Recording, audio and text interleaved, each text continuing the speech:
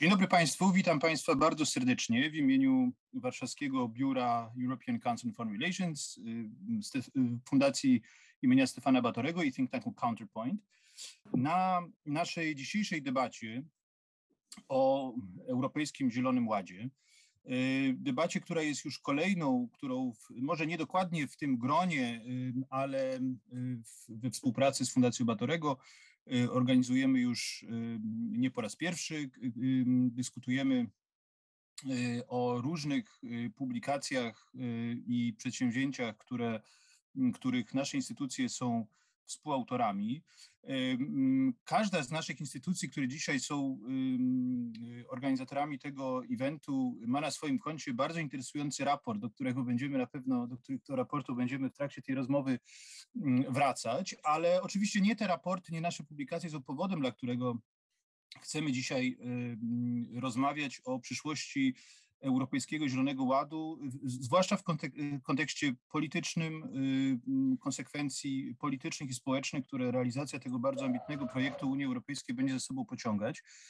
Mm, y, mm, powód jest, y, mm, wydaje mi się, poważny i, i stosunkowo prosty. To znaczy, wiemy już dzisiaj, że realizacja Europejskiego Zielonego Ładu to jeden z y, największych, jeżeli nie największy projekt europejski, co najmniej od czasu utworzenia y, wspólnego rynku. Mm, I y, projekt, który nie tyle będzie zmieniał mm, naszą gospodarkę, ale będzie zmieniał, można powiedzieć, oblicze kapitalizmu i będzie zmieniał również sposób funkcjonowania naszych społeczeństw i, i życia e, politycznego. I tak bardzo jak się w Europie, y, myślę, w dużej przynajmniej części Europy zgadzamy co do tego, że jest to projekt y, y, niezwykle ważny z punktu widzenia no, tego fundamentalnego zadania, jakie ma ludzkość dzisiaj, to znaczy powstrzymania zmian klimatycznych. Tak bardzo też już coraz mocniej y, dostrzegamy, że jest to też projekt, który będzie, którego realizacja będzie źródłem y, nowych napięć, nowych podziałów, y, reorganizacji sceny politycznej najprawdopodobniej i różnych wyzwań, które, które mają no, znacznie bardziej ambiwalentny charakter z punktu widzenia funkcjonowania naszych społeczeństw niż transformacja w kierunku mm, zielonej przyszłości. E, I to są y, tematy, o których chcielibyśmy dzisiaj y, z Państwem porozmawiać. W znakomitym gronie naszych ekspertów. Ja na razie wspomnę tylko Edwina Bendyka i Katrin Fieski, dlatego że są to osoby, które razem ze mną są współorganizatorami tego tego, y, tego y, dzisiejszego spotkania. Edwin Bendyk, prezes Fundacji Stefana Batorego, Katrin Fieski, szefowa think tanku Counterpoint, naszych partnerów. Za chwilę przedstawię jeszcze y, naszych pozostałych gości, ale chciałbym jeszcze zarysować, zanim przejdziemy już do naszej dyskusji, zarysować jej kształt.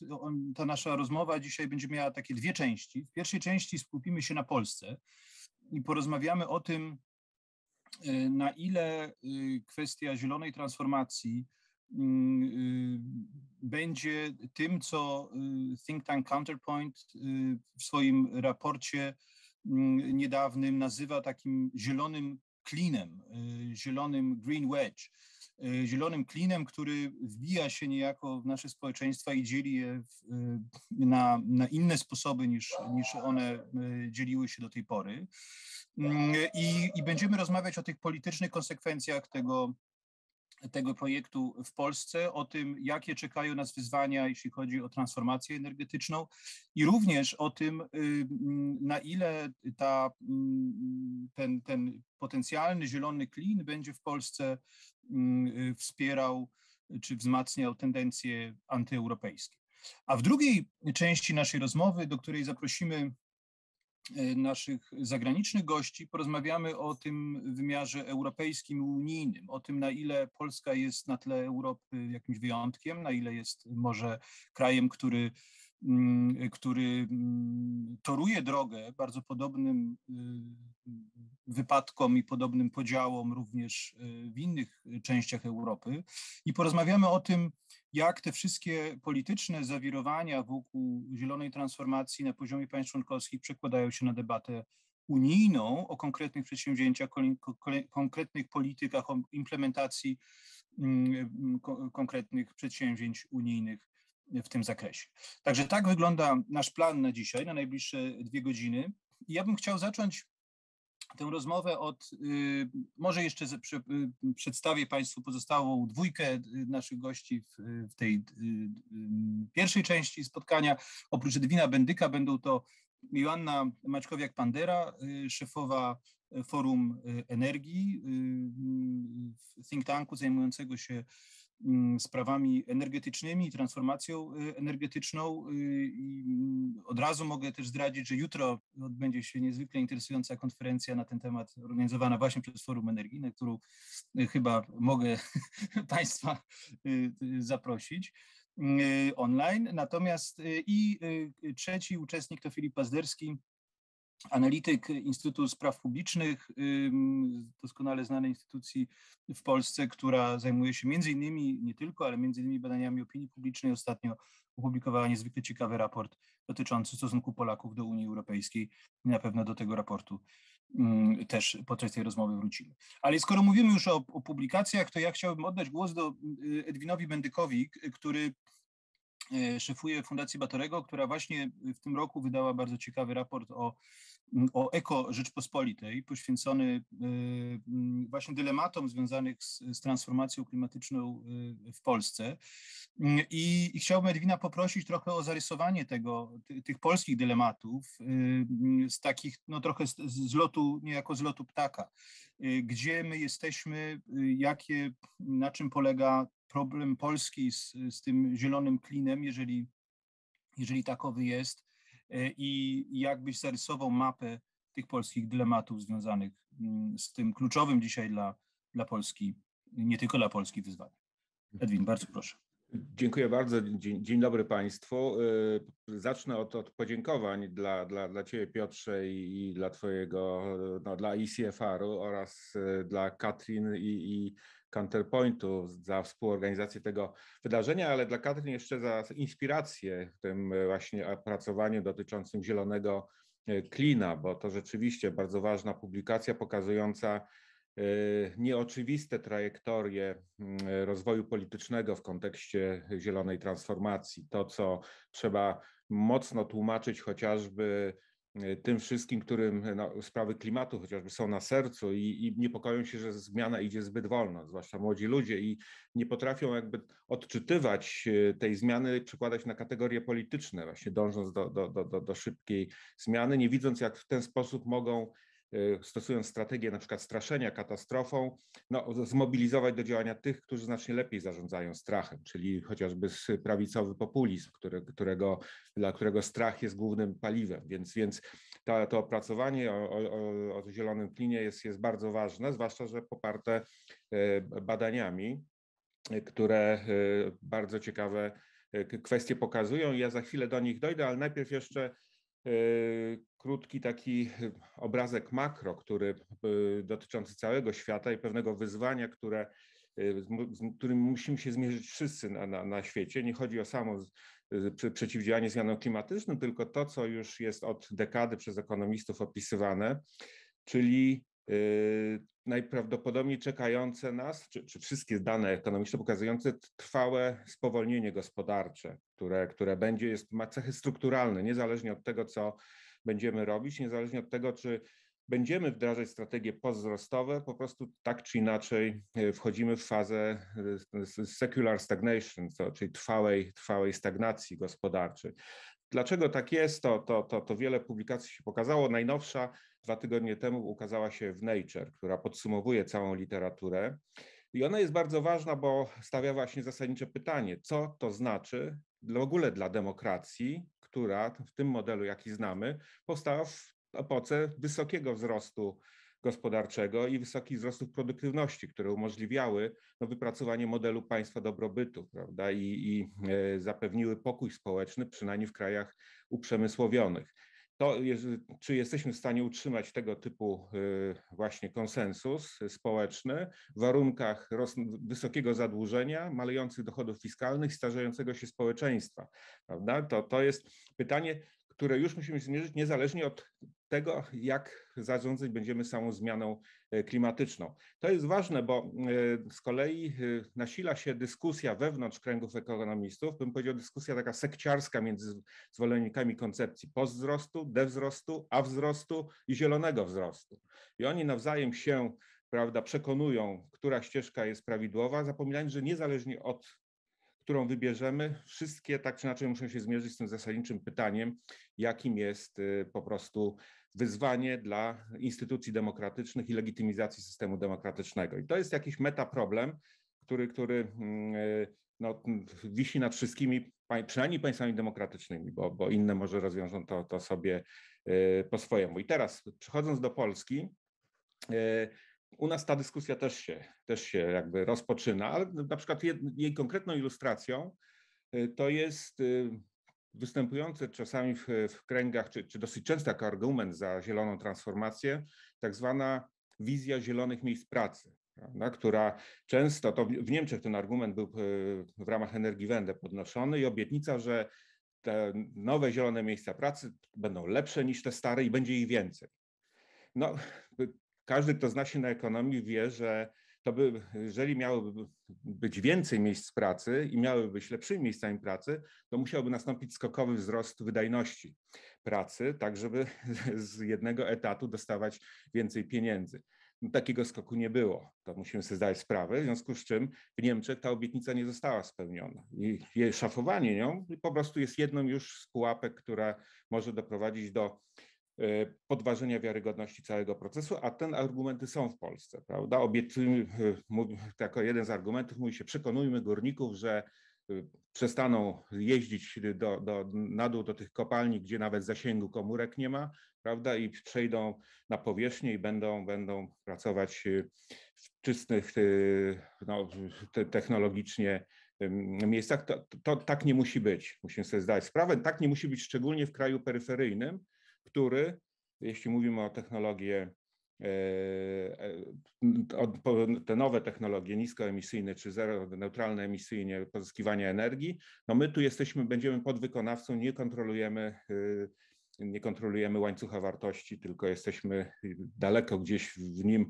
odsunięci, co jest radykalną zmianą, bo trzeba pamiętać, że system węglowy, jakkolwiek go nie lubimy, jak szybkolwiek szybko musimy od niego odejść, był w Polsce podstawą nie tylko suwerenności gospodarczej, czy energetycznej, czy bezpieczeństwa energetycznego, ale w dużej mierze suwerenności technologicznej w obszarze e, wytwarzania energii. Nawet byli, był to też e, obszar eksportu, znaczy my tu kontrolowaliśmy e, jakby ten, ten łańcuch wartości, więc to są pytania, które z którym będzie no, zmierzyć się nie tylko, będą używać na pewno populiści, bo one już przecież się pojawiają, właśnie kwestia utraty suwerenności energetycznej, to chociażby przecież y, Zbigniew Ziobro i jego, jego partia, która tworzy y, koalicję rządzącą, już podnosi.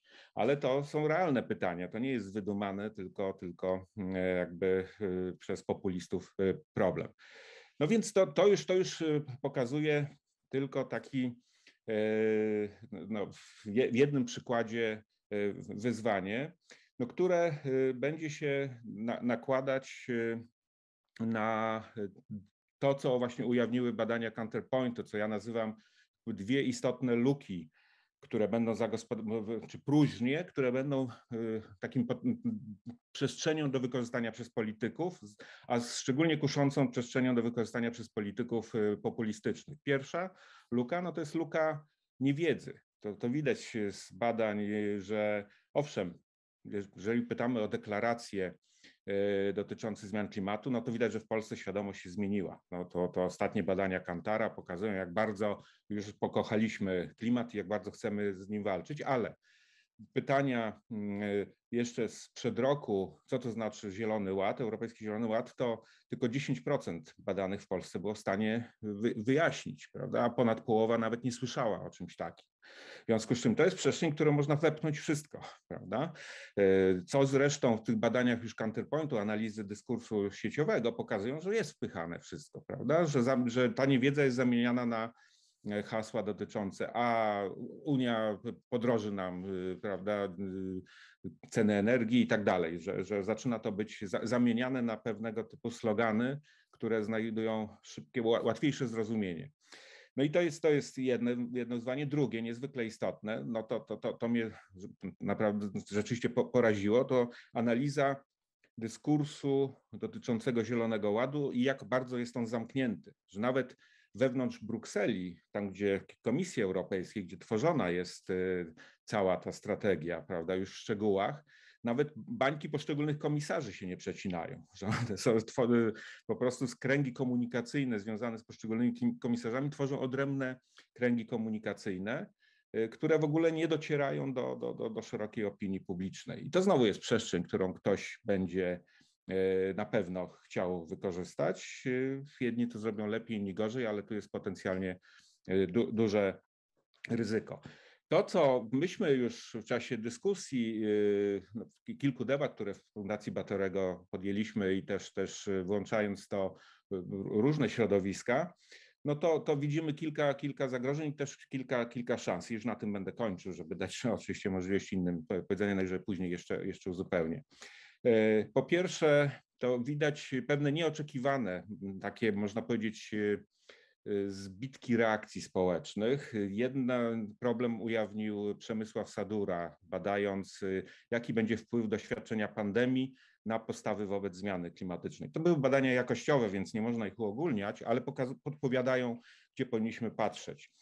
No i, i to, to ostrzeżenie dotyczy e, tego, że właśnie młodzi ludzie, na których tak bardzo liczymy i tak obiecująco wyglądają, kiedy występują pod szyldem młodzieżowego strajku klimatycznego, no jednak okazuje się, że właśnie przeorani przez pandemię, przez zakazy związane z pandemią, najprawdopodobniej nie będą gotowi nakładać na siebie wyrzeczeń związanych z koniecznością walki o, o, o klimat. Więc to, to wa warto się temu przyjrzeć, zwłaszcza, że na to się nakłada inne już statystycznie istotne spostrzeżenie, że świadomość akurat ekologiczna i klimatyczna wśród młodych ludzi jest mniejsza niż, niż u ich dziadków. Więc to jest też E, ciekawe, wbrew stereotypowi, że to młodzi są najbardziej, czy powinni być najbardziej e, świadomi ekologicznie. Inny e, obszar, i to też z tych badań wynika, no to jest, to jest, to jest, bym powiedział, taka pułapka wzajemnej hipokryzji. To znaczy tak, ci, którzy retorycznie są najbardziej proklimatyczni, czyli przedstawiciele wielkomiejskiej klasy średniej, owszem, chętnie deklarują swoje postawy, ale kiedy sprowadza się do indywidualnych wyborów dotyczących stylów życia i ograniczeń związanych z tym, y, z koniecznością do, no, dostosowania do, do realiów klimatycznych, no okazuje się, że to już będzie trudniej zrezygnować z wołowiny z Argentyny czy, czy z lotu na Spitsbergen, prawda, y, samolotem, czy, czy na tańsze, jeżeli mówimy o zwykłej klasie średniej, podstawowej, no to na, na, na tanie wakacje powiedzmy y, do, do, do Grecji czy Egiptu. Więc to, to, jest, to jest jakieś istotne wyzwanie chętnie rezygnują z tego, z tego typu e, stylu życia mieszkańcy prowincji i z niższych klas, ale dlatego, że z nich nie korzystają po prostu, w związku z czym łatwiej im jest z tego e, zrezygnować. I tutaj, e, czyli od deklaracji do, do, do realnych działań jest, jest duża przepaść, na którą z kolei nakłada się ryzyko takiego wzajemnego oskarżania, wynikające też z niezrozumienia języków. To znaczy już w tej chwili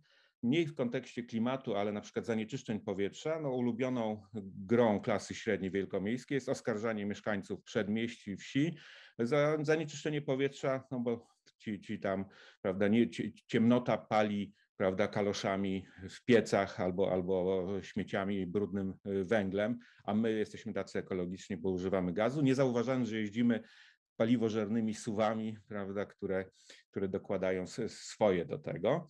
I tu jest jakaś, jakaś, jakaś istotna taka bariera komunikacyjna, przy czym, co z kolei przedstawiciele klubu jagiellońskiego konserwatywnego think tanku zauważają olbrzymiego potencjału proekologicznego, jednak ukrytego w polskiej prowincji i i, i, i wśród, wśród biedniejszych mieszkańców kraju.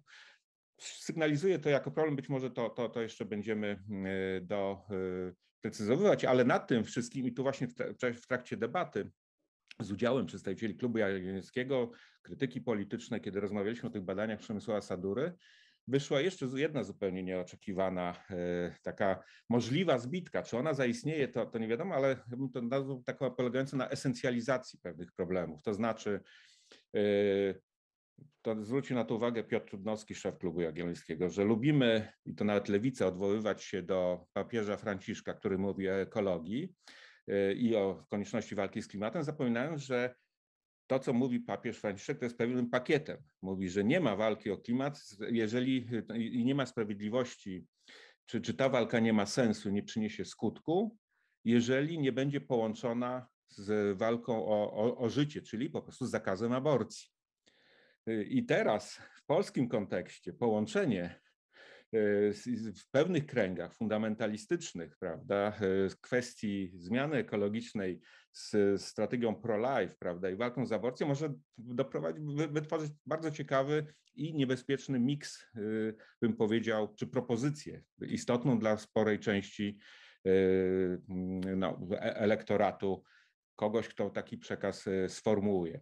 Więc już kończąc, widać, że tych, tych, tych takich pułapek jest, jest bardzo dużo które jeszcze mogą być, czy już są, y, jak patrzymy na, na problemy, które są zapowiedzią tego, co nas czeka, no nie wiem, chociażby kryzys w Turowie, prawda, wokół elektrowni w Turowie, kopalni w Turowie i tak dalej, no, no pokazują, że to, co, czego, co byłoby największym nieszczęściem, gdyby y, dyskurs zielonej transformacji przełożył się, uruchomił poprzez użycie pojęcia transformacji traumę wielkiej transformacji po roku 1989, która jest bardzo żywa jeszcze ciągle wśród wielu, wielu przedstawicieli, to tych, którzy po prostu wtedy stracili pracę, przez długie lata cierpieli biedę i dopiero od niedawna jakby weszli w, w, w lepszy obieg, bym powiedział, społeczno-gospodarczy.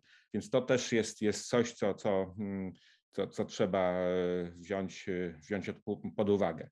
Nie wyczerpałem na pewno całego katalogu. Pokazuję tylko, mm, że od poziomu takiego makro, który nas spina w wymiarze całym światowym, potem schodząc w dół, no mamy całą kaskadę e, problemów, które wymagają no, stąpania po tym polu, jak po, po polu minowym. I, i, I pytanie, i tu już ostatnie zdanie, jeden taki pozytywny prognostyk w tej chwili, to się szybko może zmienić. Jedną z debat poświęconych tej sprawie mieliśmy z udziałem polityków. Udało nam się zaprosić przedstawicieli wszystkich y, głównych partii politycznych, z partią władzy włącznie. I tutaj inaczej niż na przykład było w Stanach Zjednoczonych, oni wszyscy mówili jednym głosem, to znaczy nikt nie kwestionował konieczności, y, że tak powiem, zielonej transformacji. Wszyscy jakby tutaj, y, ta diagnoza była zgodna i, i, i wspólna, bym powiedział. Różnice już dotyczyły później jakby oprogramowania tej, tej, tej zmiany. Natomiast nikt tego w tym gronie przynajmniej nie, nie kwestionował. Czy to jest trwały konsensus, to, to tego nie jestem w stanie y, po powiedzieć, ale to, że on w ogóle jest jako w, punkcie wyjścia, to, to już na pewno jest jakimś zasobem. Dziękuję. Dziękuję bardzo, Edwin. Y, I y, to było bardzo ciekawe, to jak pokazałeś ten szereg tych pułapek, jak to nazwałeś, tej zielonej transformacji, wynikających no, z bardzo kompleksowego charakteru tego, tego procesu. I ja bym y, chciał teraz zwrócić się do Joanny Maćkowiak-Pandery, która patrzy na mm, te y, kwestie trochę z innej perspektywy, to znaczy z perspektywy y, osoby mm, zajmującej się no, samą robieniem samej transformacji, to znaczy transformacji nie tylko, nie tylko jej skutkami społeczno-politycznymi, ale przede wszystkim tym, jak ona ma wyglądać, co należy zmienić, w jakim tempie, w jakiej perspektywie czasowej. Mm, ale y, Forum Energii, którego Joanna Pandera-Maćkowiak jest szefową, y, bardzo jest mocno zaangażowana również y, w, problematykę sprawiedliwej transformacji, to znaczy w doradzanie, doradzanie gminom, doradzanie regionom, które tę transformację będą w szczególnie dramatyczny sposób przechodzić. I ta sprawiedliwa transformacja jest oczywiście takim trochę słowem wytrychem w tej debacie. To znaczy, może papież Franciszek mówi, że nie będzie E, transformacji bez, bez dbania również o, o czy, czy bez zaangażowania w, w ruch pro-life, ale ostatecznie jednak wydaje się, że, że, że ważniejszym tym łącznikiem jest ten pomiędzy zieloną transformacją a, a jej sprawiedliwym charakterem. I dlatego chciałbym Joannę zapytać o to, jak, y, y, gdzie ty dostrzegasz te najważniejsze obszary y, w tej transformacji, która nas czeka, czy która się właśnie zaczyna na dobrą sprawę, które wymagają jakiejś politycznej odpowiedzi, jeśli chodzi o mm, zadbanie o to, żeby no, uniknąć mm, no, pułapek, nie tylko tych, o których mówił Edwin, ale też tych, które mogą wynikać z tego, że po prostu Y, opór społeczny będzie tak silny przeciwko, mm, y, przeciwko y, tym zmianom, że, mm, że trudno będzie go przełamać czy nim zarządzać. Dziękuję Piotrze. W ogóle dzień dobry. Chciałam się przywitać, podziękować za zaproszenie. Rzeczywiście jutro mamy tą konferencję, która mnie dosyć, muszę powiedzieć, zajmuje.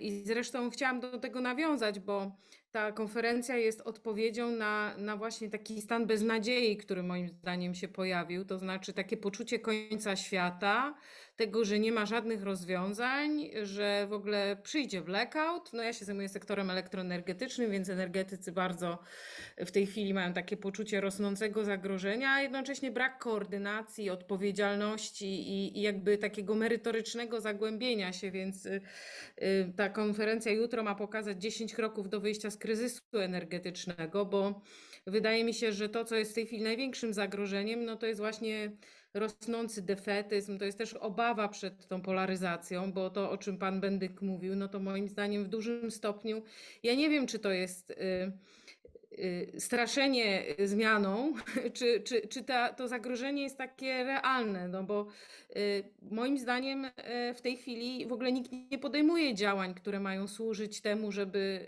wdrażać konkretne rozwiązania. Przecież nikomu nie zależy właśnie na tym, żeby energia była coraz droższa, ale chodzi też o to, żeby promować czyste rozwiązania. Nikt nie chce ograniczać mobilności. To nie o to chodzi w tym całym systemie. Nikt nie chce ograniczać nie wiem, komfortu życia.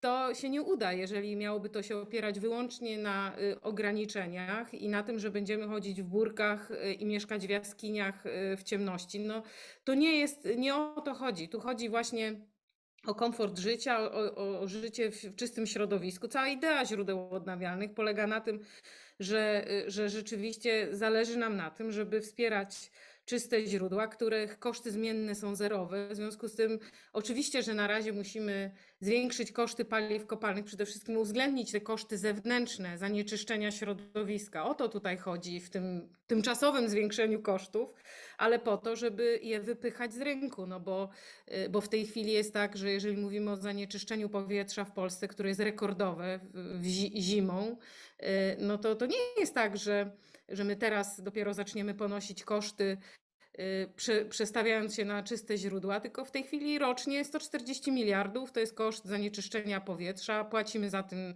za to naszym zdrowiem, zdrowiem naszych dzieci, no więc to jest uda, że teraz jest tanio, a za chwilę będzie drogo.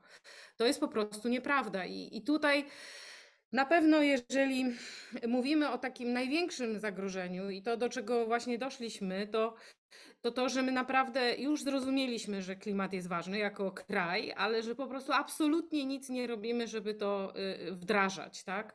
Czyli przyjmujemy cele, mówimy chętnie przyjmiemy pieniądze, ale później właściwie y, instytucje za to odpowiedzialne, Ministerstwo Klimatu, y, URE, czyli Urząd Regulacji Energetyki, są totalnie osłabione. Tworzymy instytucję na przykład planowania rodziny, a nie mamy instytucji, instytucji która planuje transformację energetyczną.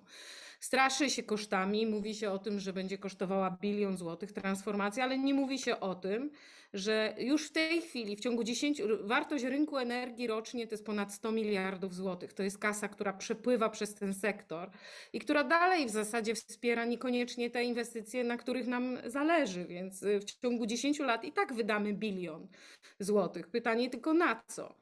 Więc to, co ja widzę i co też jutro będziemy y, proponować, no to jest przede wszystkim jakby wzmocnienie wiedzy, tak? Y, liczenie rzetelne i proponowanie rozwiązań takich, które będą ludzi zachęcały, bo nie, naprawdę nie o to chodzi, żeby ludzie przestali się przemieszczać albo jeździli wszędzie rowerem, tylko żeby jeździli, y, nie wiem, pojazdami elektrycznymi, które nie emitują, żeby jeździli pociągiem, żeby jeździli, nie wiem, czy się i używali czystych źródeł ciepła y, do ogrzewania i, i, i jednak y, w komforcie żyli. Więc to mi się wydaje w tej chwili jest to najważniejsze zadanie.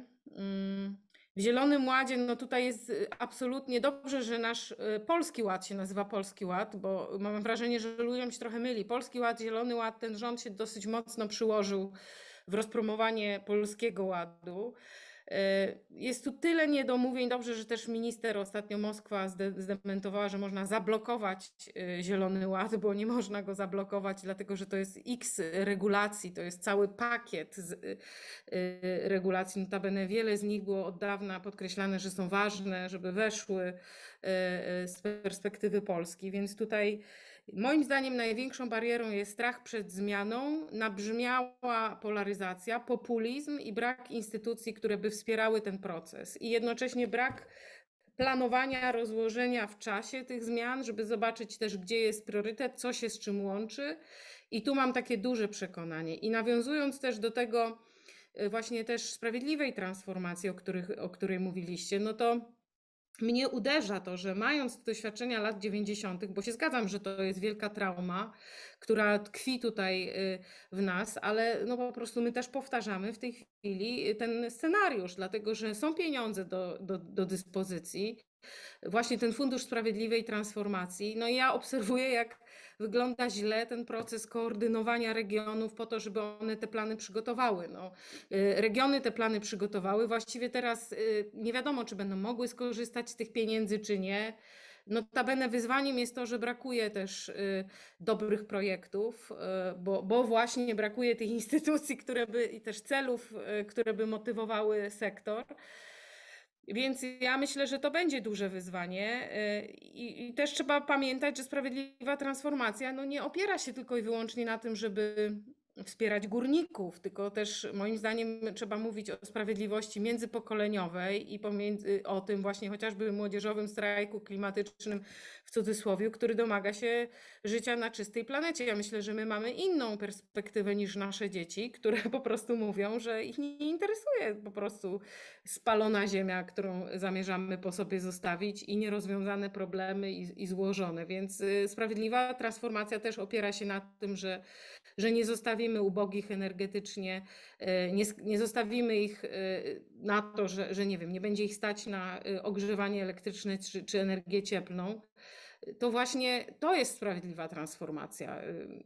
I umowa społeczna, na przykład, którą rząd podpisał z górnikami, no to ja chciałabym, żeby to nie była tylko umowa jednego wiceministra ze związkami zawodowymi, tylko żeby, żeby odbyć naprawdę dużą debatę o tym e, z udziałem różnych stron e, i instytucji, ekspertów, ale też właśnie organizacji ekologicznych, młodzieży, tak jak to się odbywa w innych krajach, gdzie wypracowywany jest konsensus, no bo tutaj jest przemysłu tak samo, który płaci coraz wyższe koszty energii, e, więc to jest. Y, podsumowując, ja myślę, że to, czego nam brakuje, to jest naprawdę takiego step.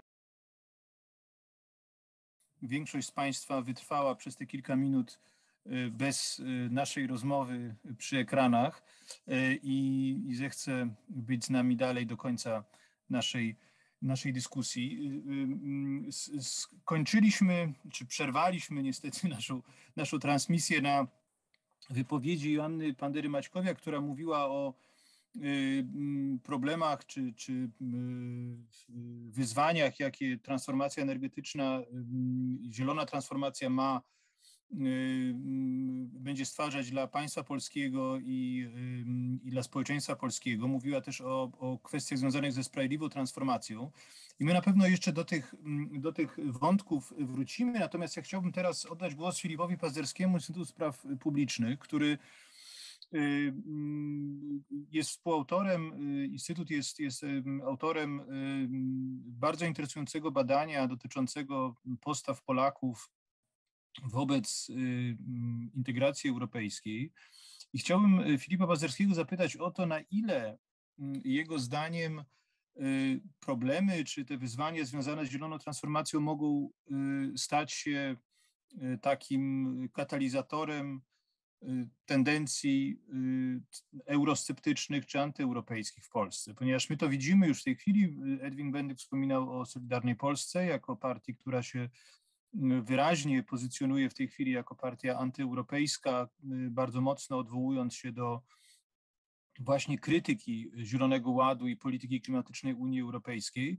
I ciekaw jestem, na ile te badania, czy też inne badania, y, do których y, mamy dostęp, na ile one y, pokazują ten potencjał antyklimatyczny, który łączy się z potencjałem antyeuropejskim. Jak to wpłynie na naszą scenę polityczną, jak to wpłynie na podziały społeczne, Y, co, co, co wiemy dzisiaj na ten temat i co możemy przewidywać, jeśli chodzi o przyszłość? Y, za zaproszeniu. Y, wieczór Państwu, wszystkim, bo to właściwie chyba wieczór, przynajmniej w Polsce na pewno. Ja za chwilkę dojdę do, do odpowiedzi na, na to pytanie, natomiast na początku chciałbym może wzmocnić, wesprzeć te głosy, które przed tą umówmy się, przerwą kawową się pojawiły. E, to było zaplanowane, tak, żebyście Państwo też mogli zasięgnąć sobie kawy i dalej nas słuchać z odpowiednią energią.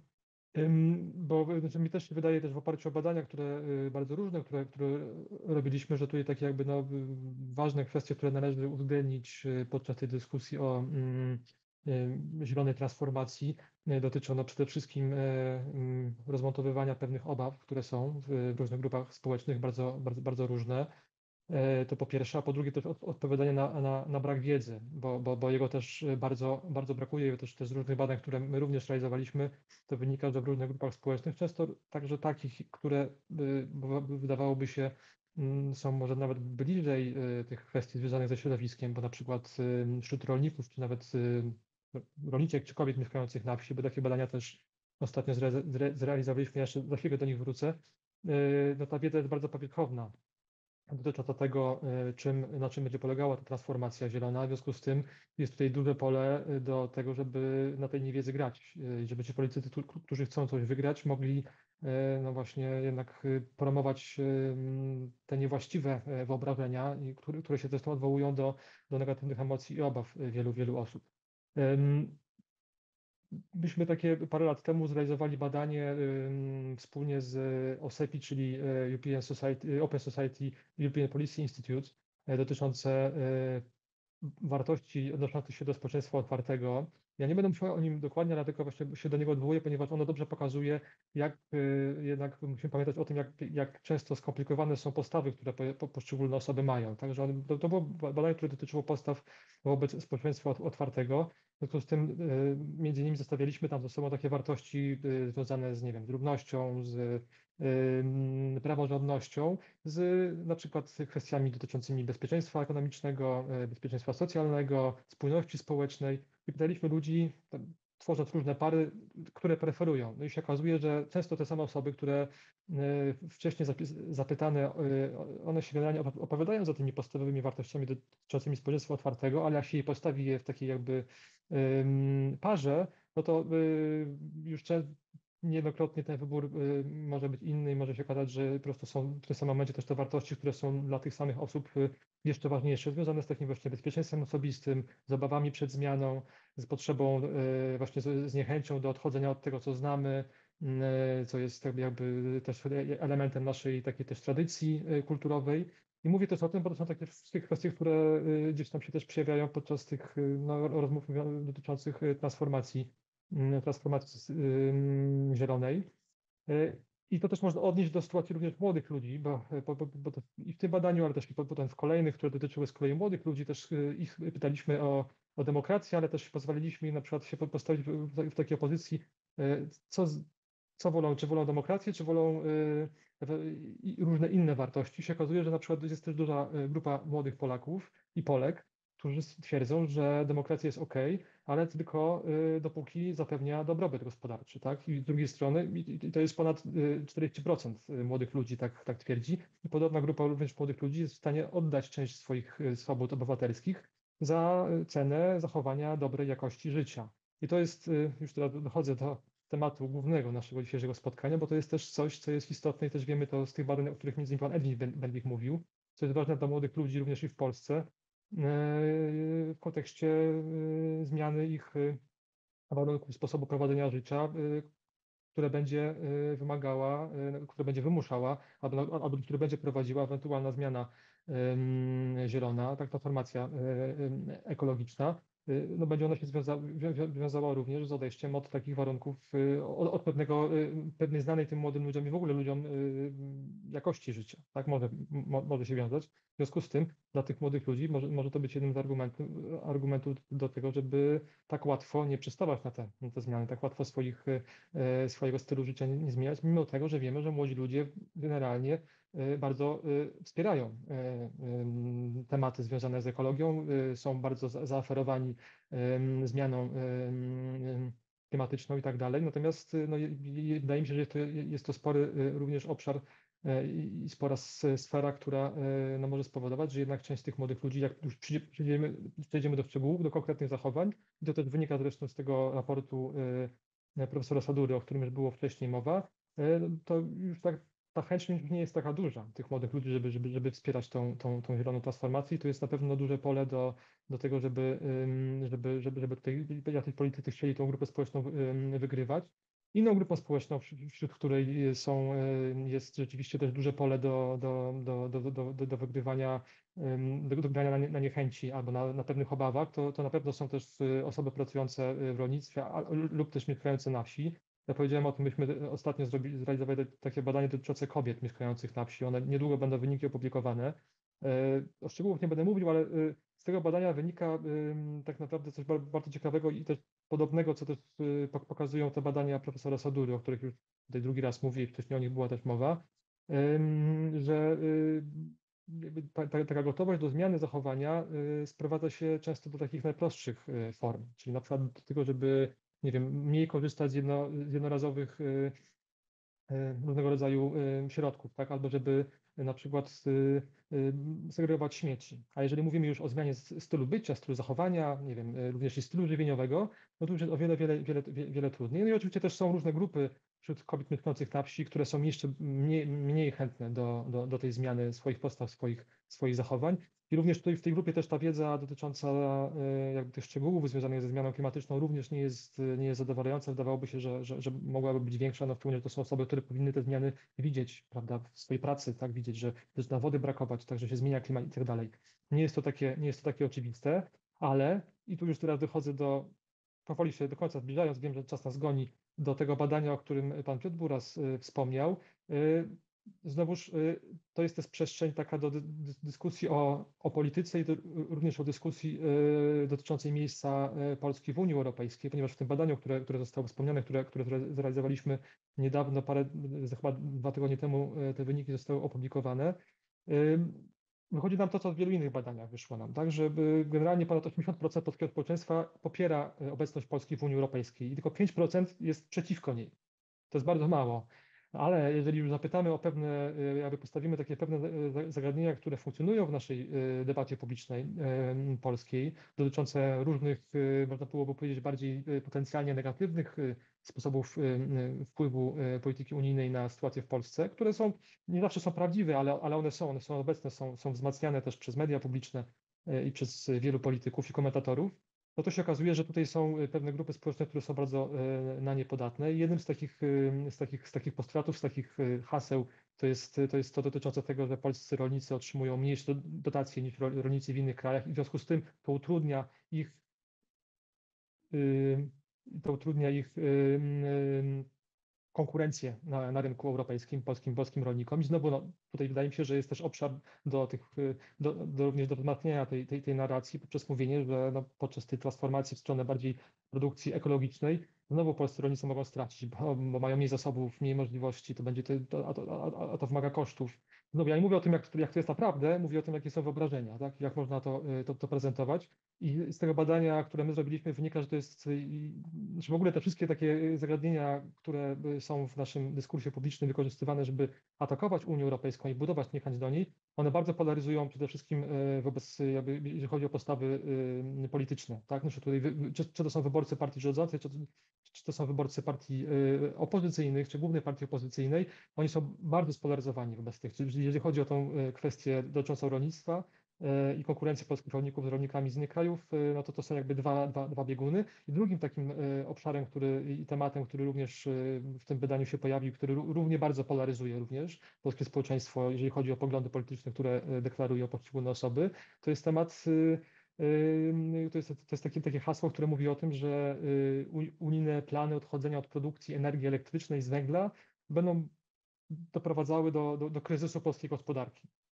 No i tu znowu jest coś, co też się wiąże z takim dyskursem e, suwerennościowym polskim, prawda, że tutaj jakby polski świat mówi, że będzie bronił polskiej gospodarki, polskiej, polskiej energii, a, a, a to Unia nam narzuca tak te, te, te ograniczenia związane z emisją dwutlenku węgla i y, z tym również y, zmianą y, produkcji naszej, naszej energii.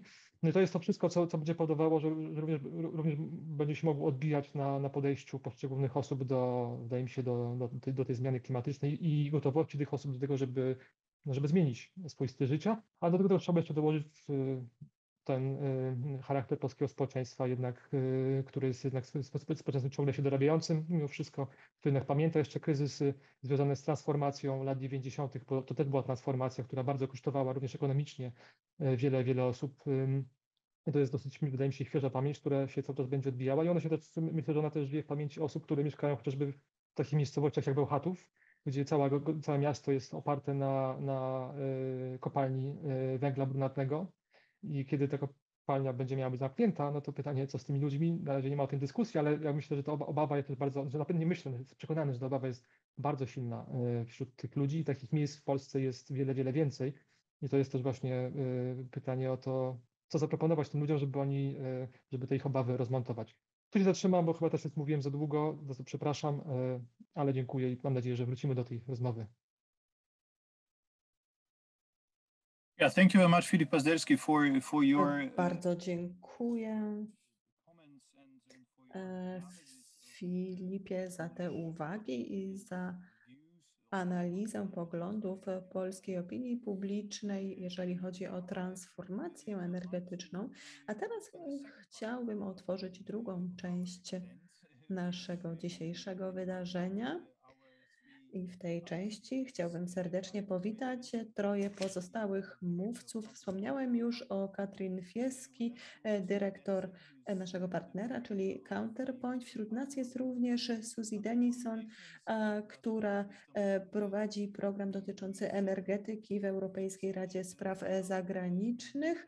I jest z nami również Tomasz Jungwirth, który jest badaczem i szefuje zespołowi klimatycznemu e, w takim praskim think tanku e, Stowarzyszenie na Rzecz Spraw zarodowych. Rozmawialiśmy o przypadku e, polskim, o tym skutku wbijania w społeczeństwo zielonego klina, a teraz chcielibyśmy umieścić naszą dyskusję w nieco, nieco szerszym kontekście. Jako e, do pierwszej zwracam się do Katrin Fieski, dlatego że to jej organizacja opublikowała raport dotyczący zielonego klina i to ten raport stał się inspiracją dla dzisiejszej debaty. Raport ten analizuje w bardzo ciekawy sposób, zwłaszcza debaty toczące się w mediach społecznościowych na temat transformacji energetycznych, energetycznej e, i zmian klimatycznych w wielu różnych krajach. I dlatego to Katrin, myślę, jest najodpowiedniejszą osobą, e, by przekazać nam zróżnicowane perspektywy patrzenia E, na e, debatę o transformacji energetycznej i o klimacie w Europie. Mam proste pytanie, w jakim zakresie Polska to przypadek, przypadek wyjątkowy? E, właściwie przez godzinę miałaś szansę przysłuchiwać się temu, jak wyglądają sprawy z perspektywy polskiej, na ile te perspektywy są w jakiś sposób wyjątkowe, czy Polska jest po prostu jednym e, z wielu głosów w tej bardzo barwnej e, dyskusji w Europie. Jakie, e, jak to widzisz? Bardzo dziękuję Piotrze, dziękuję również wszystkim osobom, które dzisiaj do nas dołączyły. Jeżeli chodzi o to, w których miejscach Polska e, jest wyjątkowa, a w których bardziej typowa, to ciężko to, to uprościć. Może powiem więcej o badaniach dotyczących zielonego klina.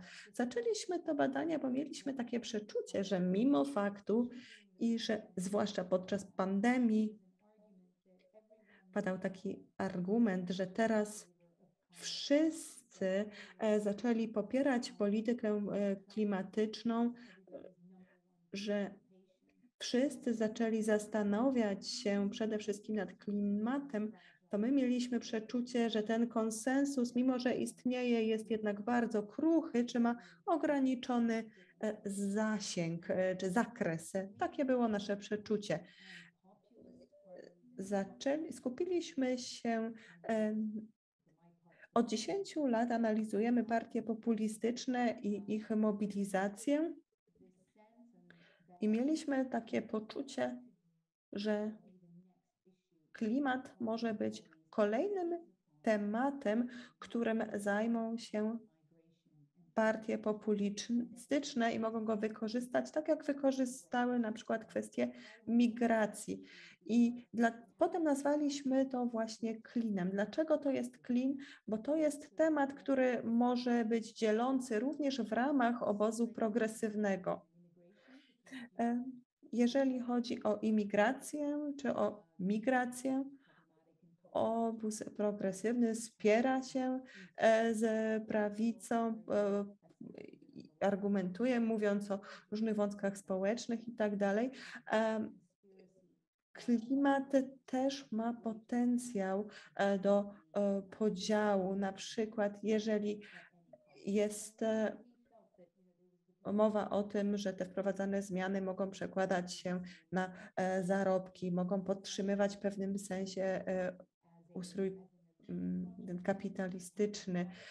E, baliśmy się, że klimat, ochrona klimatu będzie przedstawiana jako projekt elitarny, taki technokratyczny, który będzie najwięcej kosztował szarego człowieka, którego na to nie stać. Widzieliśmy dużo paraleli pomiędzy właśnie tym, jak rozgrywana jest e, debata o migracji i o klimacie. I zastanawialiśmy się o tym, jak to wyglądało w różnych krajach, badali w Europie, w Wielkiej Brytanii, w Stanach Zjednoczonych. I w tym kontekście bardzo ważne jest, by zauważyć, może dwie rzeczy bardzo szybko powiem. W Francji po raz pierwszy e, ludzie uświadomili sobie, że polityka klimatyczna może być instrumentalizowana i że może e, mieć pewien urok, kiedy pojawia się biżu biżu. I w kontekście tego co było mówione dzisiaj, podkreślam, jak ważne jest analizowanie różnych kwestii w kontekście. Na przykład, jeżeli mówimy o kobiety na terenach wiej, kobiety na terenach wiejskich z jednej strony doświadczają same zmian klimatu, a z drugiej strony, e, że tak powiem, nie nawracają się na politykę e, proklimatyczną. Uświadomiliśmy sobie, że w zależności od tego, gdzie jedziemy, y, musimy albo mówić o klimacie, albo o środowisku, albo o przyrodzie, albo o zanieczyszczeniu powietrza, e, posługując się jakby takim językiem, jakiego używają ludzie w swoich dyskusjach, i to było bardzo zróżnicowane kontekstowo. Czasem sprowadzało się to naprawdę do różnic słownictwa. E, Europejski Zielony Ład niestety tego nie robi, dlatego że to ma być jedno rozwiązanie dla wszystkich, przynajmniej w taki sposób jest prezentowany. I dlatego nie radzi sobie tak dobrze, jeżeli chodzi przynajmniej o komunikację. Mieliśmy wiele rozmów w różnych mediach, e, Facebook, były grupy na Facebooku, e, Wikipedia, YouTube, nawet TikTok. Wszystkie te media e, wykorzystywaliśmy, zbieraliśmy dane i tak powstał bardzo duży zbiór danych. Główne wnioski. Jeden, o którym już mówiłam.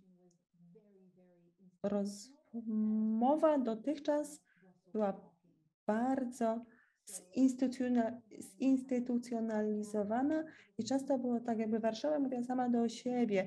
E, nawet jeżeli aktywiści starali się, czy ludzie starali się e, zwracać, przepraszam, to było tak, że Bruksela jakby mówiła sama do siebie, nawet jeżeli różne gremia, aktywiści, ludzie starali się wchodzić w dialog z komisją, e, to to było utrudnione. To, co stwierdziliśmy też, jeżeli chodzi o Europejski Zielony Ład, E, ale też pakiet odbudowy i perspektywa do 55 roku to jest e, wiele osób e, z tych gremiów populistycznych które posługują się taką retoryką, że te wszystkie rzeczy są oderwane od zwykłego, zwykłego człowieka, to e, biurokraci spiskują przeciwko zwykłym ludziom, to jest elitarne i e, technokratyczne, ale również z drugiej strony pojawiają się niepokojące rzeczy, mianowicie mówi się o tym, że aktywiści, a nawet nie aktywiści, tylko osoby otwarte na dyskusję w społeczeństwie obywatelskim, osoby, które powinny naturalnie być sojusznikiem Zielonego Ładu, a właściwie nie mogą nim być, nie stają się nimi. I tak naprawdę bez tego poparcia, a wręcz przy oporze z tych różnych grup, tak naprawdę politycy mają bardzo wąską ścieżkę. Widzieliśmy to też na szczycie klimatycznym COP26. Były sprzeciwy ze strony populistycznej, ze prawicy, ale również sprzeciwy z grona ludzi, którzy właściwie byliby naturalnymi sojusznikami. Dlatego zastanawialiśmy się, jak to jest możliwe? Dlaczego ten proces stał się taki przeciwproduktywny? Główny wniosek jednak, który chciałabym y, dzisiaj omówić, zwłaszcza w kontekście Polski, jest taki, że nie tylko stwierdziliśmy, y, iż ten zielony klin dzieli kręgi progresywne, ale stwierdziliśmy również, że populiści wykorzystują tę kwestię w sposób przypominający karate, czyli wykorzystuje się czyjąś siłę przeciwko tej osobie, taka polityka jiu-jitsu może, czyli przejmują całą retorykę wolności, wyboru, autonomii, którą na ogół o, posługuje się ruch progresywny, proklimatyczny i mówi nie, to my, populiści, bronimy Twojej wolności, bronimy Twojego wyboru, a ci, ci z drugiej strony to ekofaszyści, um, ludzie o autorytarnym podejściu. Oni są z Brukseli, oni nie mają zielonego pojęcia o tym, czego potrzebują ludzie. Oni podjęli decyzję samodzielnie, co będzie dla ciebie dobre, nie pytając cię o zdanie. Więc e, zauważyliśmy, że coś takiego się zaczęło pojawiać rok temu, nawet półtora roku temu, i w większości państw okazało się, e, że takie wykorzystywanie tej retoryki jest coraz częstsze. Po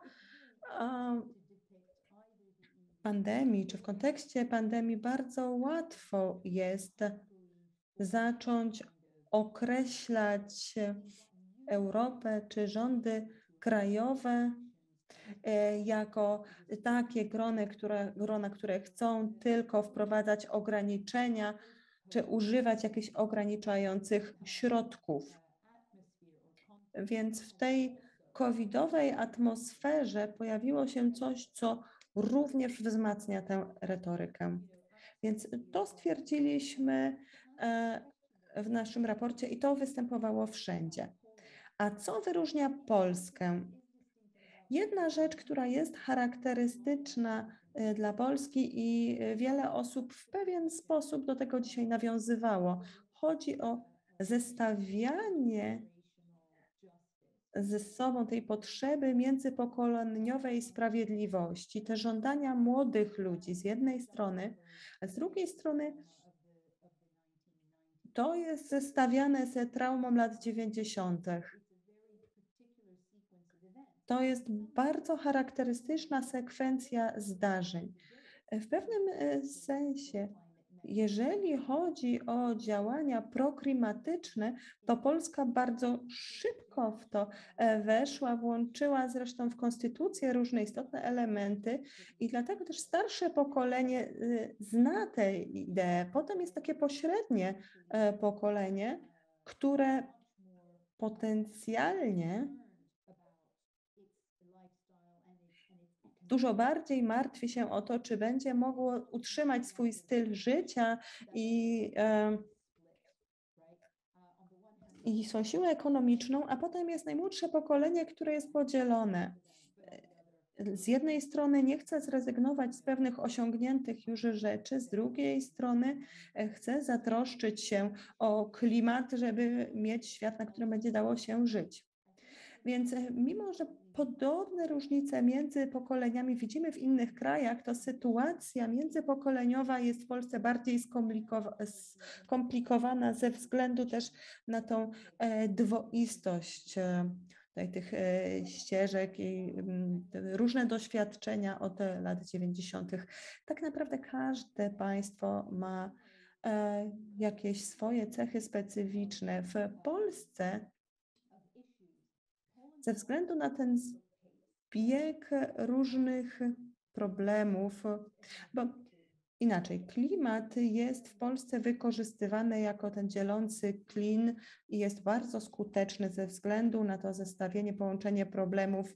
Widzimy, że ten klin jest skuteczny, prowadzi do podziałów i to odzwierciedla sytuacja w mediach, w mediach społecznościowych. Podkreślana jest też kwestia suwerenności. To słowo pada w wielu kontekstach, w różnych debatach. To jest e, tak naprawdę słowo roku pod pewnymi względami i tak jest właściwie w całej Europie. E, to są tak naprawdę takie kręgi koncentryczne. Są populiści, którzy mówią, że tutaj chodzi o Twoją suwerenność jako jednostkę, jednostki.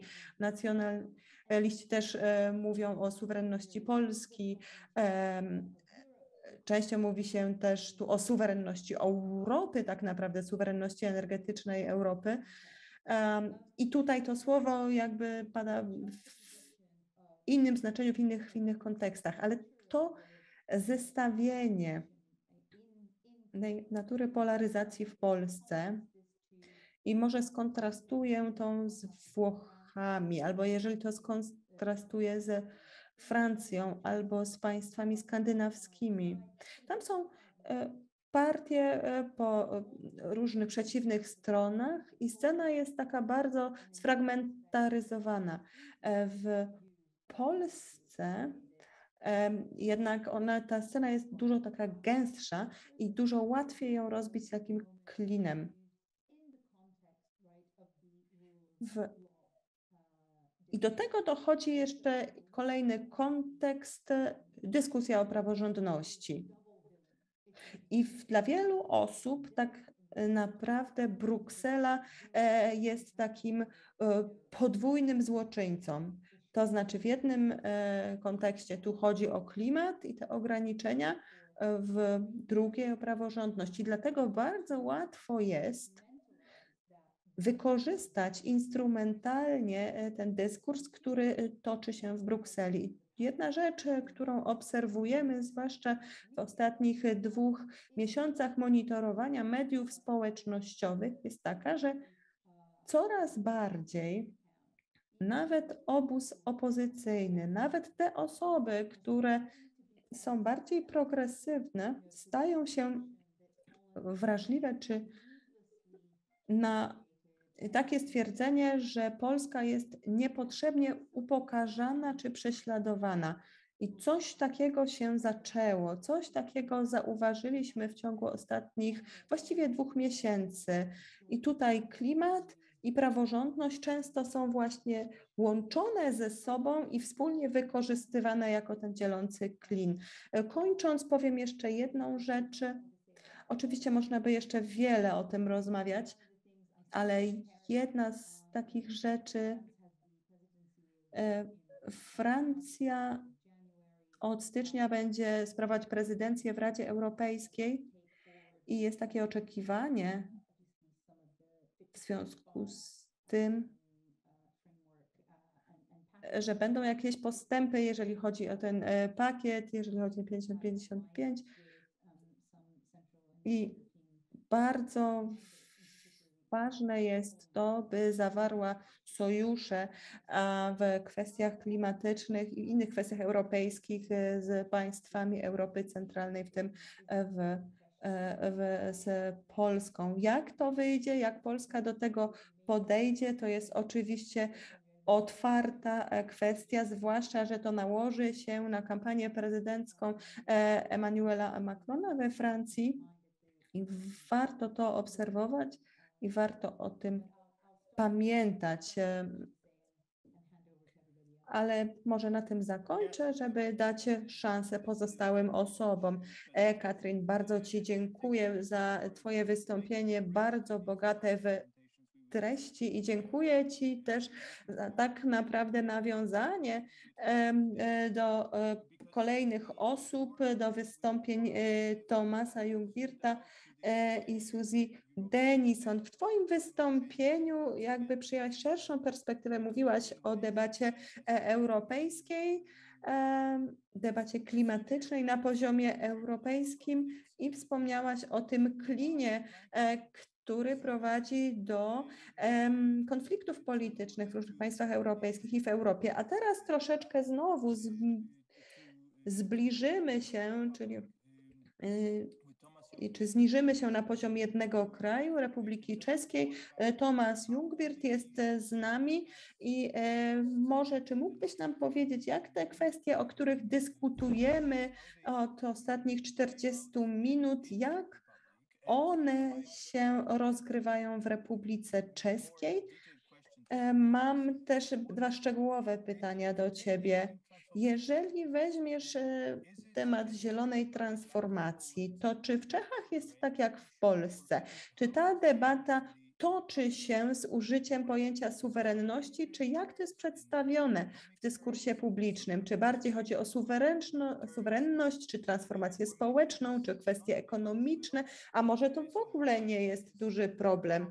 Jak Republika Czeska różni się od Polski pod tym względem, jakie są podobieństwa.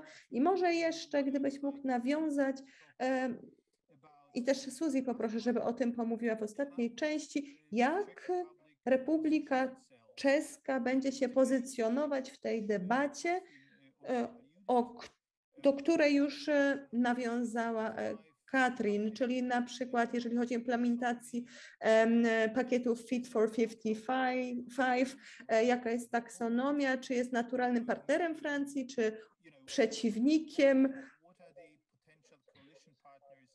Jacy tutaj partnerzy koalicyjni wchodzą w grę dla um, Czechów w kontekście tej debaty politycznej, która się będzie toczyła w kolejnych miesiącach. Więc przekazuję głos y, Tomaszowi. I może jeszcze jedna uwaga dla naszej publiczności. Kieruję te słowa do naszej publiczności. Jeżeli ktoś chciałby zadać pytanie, to proszę skorzystać z czatów na Facebooku, na profilu ICFR albo na profilu Fundacji Batorego. Bardzo proszę i przekazuję Ci głos, Tomaszu. E, to naprawdę fascynująca rozmowa, muszę przyznać, zwłaszcza te ostatnie uwagi Catherine bardzo ciekawe i mógłbym od razu się od, do nich odnieść. I też widzę, że staramy się w czasie takiego jednego spotkania bardzo wiele tematów e, omówić. To nie jest łatwe, no ale spróbujmy po kolei. Prezydencja Francji w Radzie. Wydaje mi się, że Francja może liczyć na wsparcie Czechów. Tutaj nie będzie żadnej zmiany. To znaczy, mamy zmianę rządu. I jeżeli możemy na czymś polegać, no to wsparcie dla energii jądrowej i też wsparcie dla gazu jako takiego paliwa na etapie pośrednim, jeżeli chodzi o taksonomię. I niektórym z nas to się może nie, nie podobać, ale tak wygląda po prostu rzeczywistość polityczna.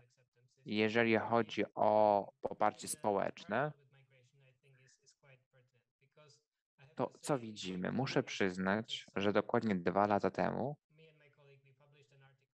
opublikowaliśmy e, taki artykuł na temat tego, czy klimat to będzie nowa migracja, jeżeli chodzi o tematy podejmowane przez prawicę.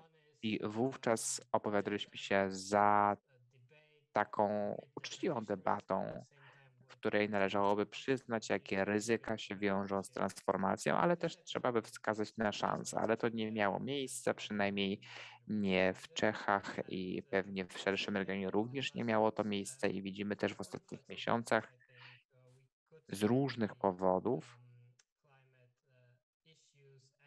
ta problematyka związana z klimatem i transformacją energetyczną, no to wszystko zostało ujęte w nowym Zielonym Ładzie Europejskim i to jest temat, który dzieli też czeskie społeczeństwo. Wydaje mi się, że to jest coś wspólnego, jeżeli porównujemy Czechę z Polską. I dlaczego to tak się dzieje, jakie to wiąże, jakie się wiąże z tym ryzyko, już trochę o tym powiedziano. Wydaje mi się, że w dużym stopniu wynika to z kryzysu energetycznego i z tego, że rosną ceny energii dla gospodarstw domowych, ale w Czechach to też była debata e, przed wyborami i brakowało takich głosów politycznych, które miałyby silne poparcie społeczne i które popierałyby e, czy to pakiet e, Fit for 55, czy też całą zieloną transformację unijną i Zielony Ład.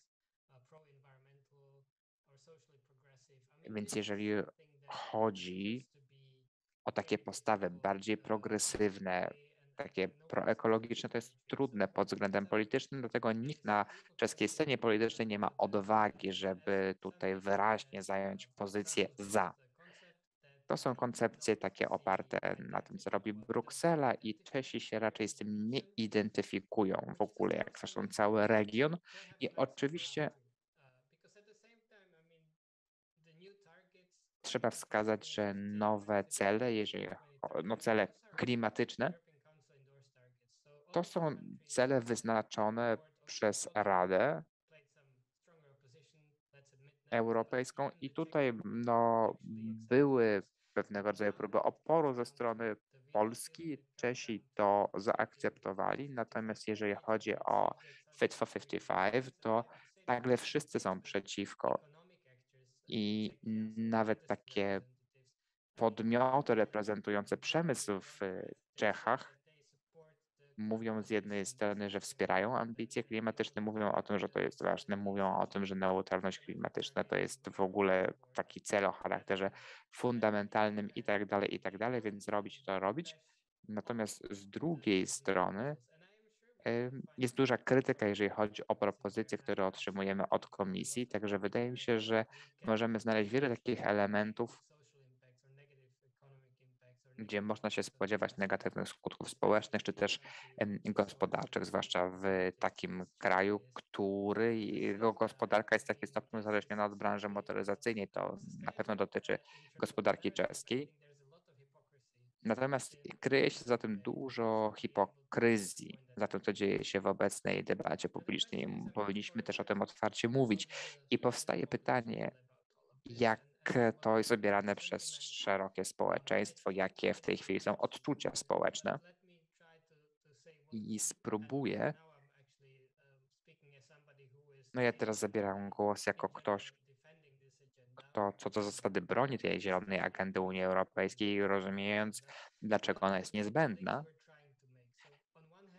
I teraz tak, z jednej strony problem, który istotnie zmienił nastroje społeczne, jeżeli chodzi o zmiany klimatyczne, to były susze w zeszłym roku.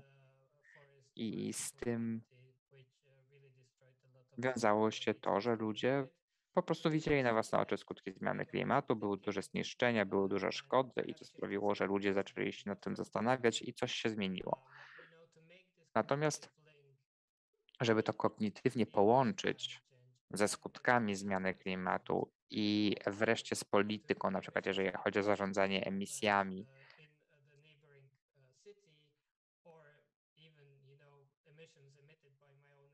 emisjami gdzieś tam w pobliskim mieście, czy też e, emisjami, które się wiążą z korzystaniem z własnego samochodu, czy na przykład lotem na Florydę, to już nie jest takie proste i ludzie nie chcą tej odpowiedzialności na siebie przyjąć. Trudno jest ludziom po prostu stwierdzić, że to oni są za to odpowiedzialni tak żeby wziąć na siebie tę odpowiedzialność za siebie samego, ale też za cały kraj. Więc Bruksela, komisja, ok, ale na przykład wskazuje się na takie gospodarki jak gospodarka chińska, która też powinna ponosić odpowiedzialność, niezależnie od tego, że emisje per capita to 60% zaledwie tego, co my mamy, no ale to się nie przebija w debacie.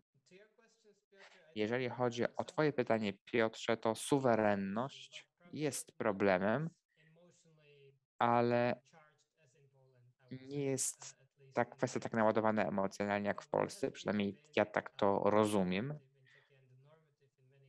Natomiast w ostatnich latach dużo mówiono w Czechach o suwerenności energetycznej. Nie wiem, czy tutaj jest to umowane w taki sposób patriotyczny, ale jest takie pojęcie, że mówi się o tym, że musimy być w stanie wyprodukować energię elektryczną sami, której potrzebujemy i trzeba też odnotować, że Czechy są jednym z największych eksporterów energii elektrycznej w Unii Europejskiej. To się może wkrótce zmienić, ale na razie cały czas tak jest. I tutaj pomijamy też to, że dużo źródeł energii pierwotnej importujemy, ropę, gaz, e, czy też paliwo jądrowe na potrzeby naszych e, elektrowni atomowych. Także dużo mówiono o tej suwerenności energetycznej i też w kontekście transformacji energetycznej o tym mówiono. I też mówiono właśnie o tym, że każdy ma suwerenne prawo do własnego miksu energetycznego. Takiego, jaki ma. I tutaj chciałbym przejść do odczuć społecznych, już odejść trochę od polityki, e, tylko właśnie do odczuć społecznych. Jeżeli są jakieś pytania, mm, to bardzo proszę. Dziękujemy. I teraz chciałbym przekazać głos Suzy, która czekała na półtorej godziny, słuchając e, wypowiedzi pozostałych osób, bardzo ciekawych. Natomiast cały czas prosiliśmy Suzy, żeby właśnie e, czekała i zostawiliśmy ją na koniec naszej debaty. I to wynika z tego, że chcielibyśmy teraz trochę odejść od analizowania opinii publicznej i tej rzeczywistości politycznej w państwach członkowskich i przejść bardziej na szczebel unijny, czyli do rzeczywistości politycznej na szczeblu unijnym. A te z kolei charakteryzuje takie ciekawe połączenie podziałów politycznych, napięć politycznych między państwami członkowskimi Unii Europejskiej. To niekoniecznie jest jakiś prosty wzór konfliktów politycznych. I to jest mój, moja nazwa, moje określenie tego. I Suzy też opublikowała jako współautorka raport z analizami dotyczących potencjalnych koalicji na szczeblu Unii Europejskiej. tak żebyśmy mogli popchnąć ten projekt do przodu. I biorąc pod uwagę, coś się teraz będzie działo, jeżeli chodzi o prezydencję, będzie ona przejęta przez Francję. I ta debata w Unii Europejskiej się rozwija i wydaje mi się, że warto byłoby, żebyś powiedziała o tym, jak te podziały w samej Unii Europejskiej między poszczególnymi państwami członkowskimi, jak one będą rozgrywane na szczeblu unijnym, jak one będą wpływać na politykę Unii Europejskiej.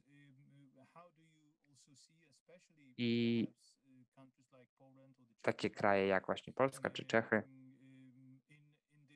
jak postrzegasz ich rolę, jeżeli chodzi o to, co się będzie działo na szczeblu Unii Europejskiej w zakresie wdrażania już Zielonego Ładu i co jest potrzebne, żeby ten projekt odniósł sukces w okresie prezydencji francuskiej, ale też po niej. Więc Suzy, bardzo proszę, oddaję Ci głos. Dziękuję, Piotrze. Chcę też podkreślić, że z przyjemnością czekałam półtorej godziny, także to naprawdę było e, ciekawe. Wysłuchając z przyjemnością wszystkich wypowiedzi. I teraz krótko się do tego postaram odnieść. I zacznę od tego, że podobnie jak wszyscy pozostali biorący udział w dyskusji, ja też wielką przyjemnością zapoznałem się z tymi raportami, o których tutaj była mowa i widzimy tutaj wiele podziałów. To stanowi punkt wyjścia, to jest coś, czym musimy się zmierzyć i musimy się zastanowić, czy ma to znaczenie, jakie to ma znaczenie na szczeblu unijnym, co możemy z tym zrobić w wymiarze politycznym i też mam kilka uwag dotyczących tego, jak sobie z tym możemy poradzić właśnie na szczeblu unijnym. Także po pierwsze, te podziały, czy one mają znaczenie?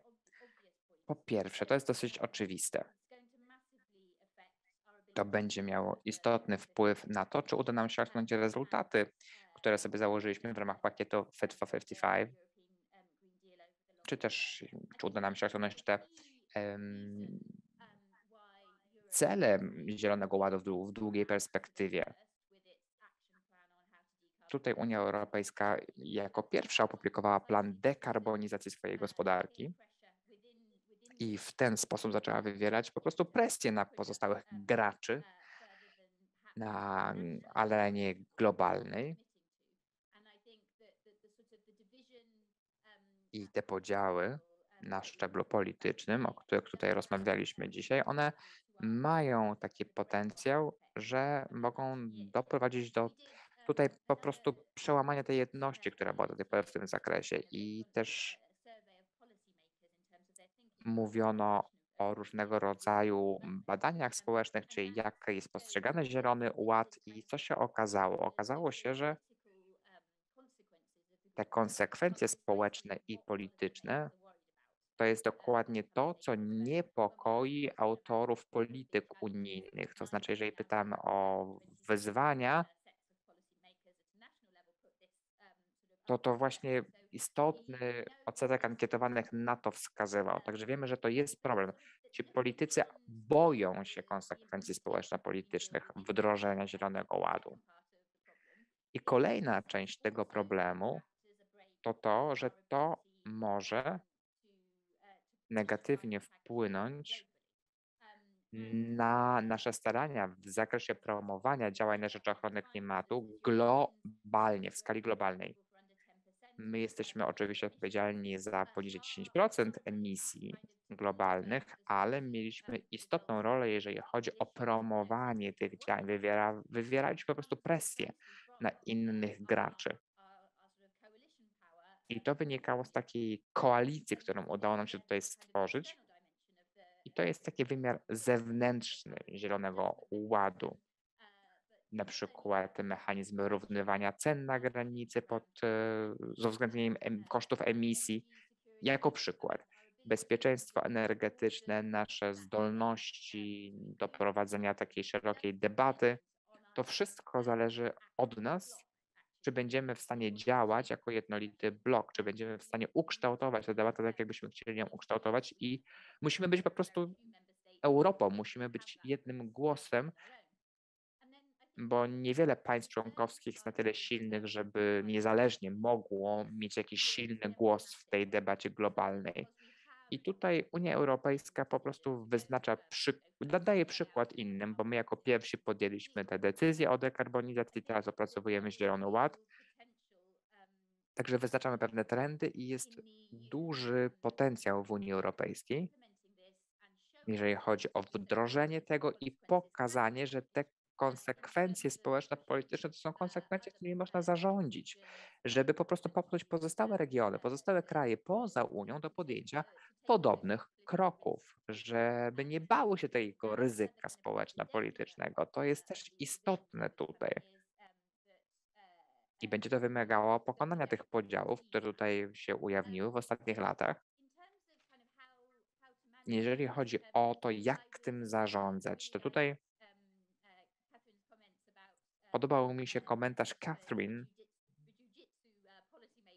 dotyczący potrzeby takiej polityki jiu-jitsu w tym obszarze. To właśnie to, co powinniśmy robić, jeżeli chodzi o debatę o zmianach klimatu i widzimy, że jest kilka problemów, które tutaj podkreślano, jeżeli chodzi o kształtowanie Zielonego Ładu. Ja chcę jeszcze jedną kwestię dodać, to znaczy w jakiś sposób sprzedano to społeczeństwu jako wybór, który podejmujemy. Znaczy mówiono, że my decydujemy się na taki wybór, chcemy iść tą drogą, tak chcemy się zmierzyć z tym kryzysem klimatycznym, a tak naprawdę to jest coś, co nie jest naszym wyborem. My musimy to zrobić, a sprzedawano to społeczeństwo jako wybór jednak.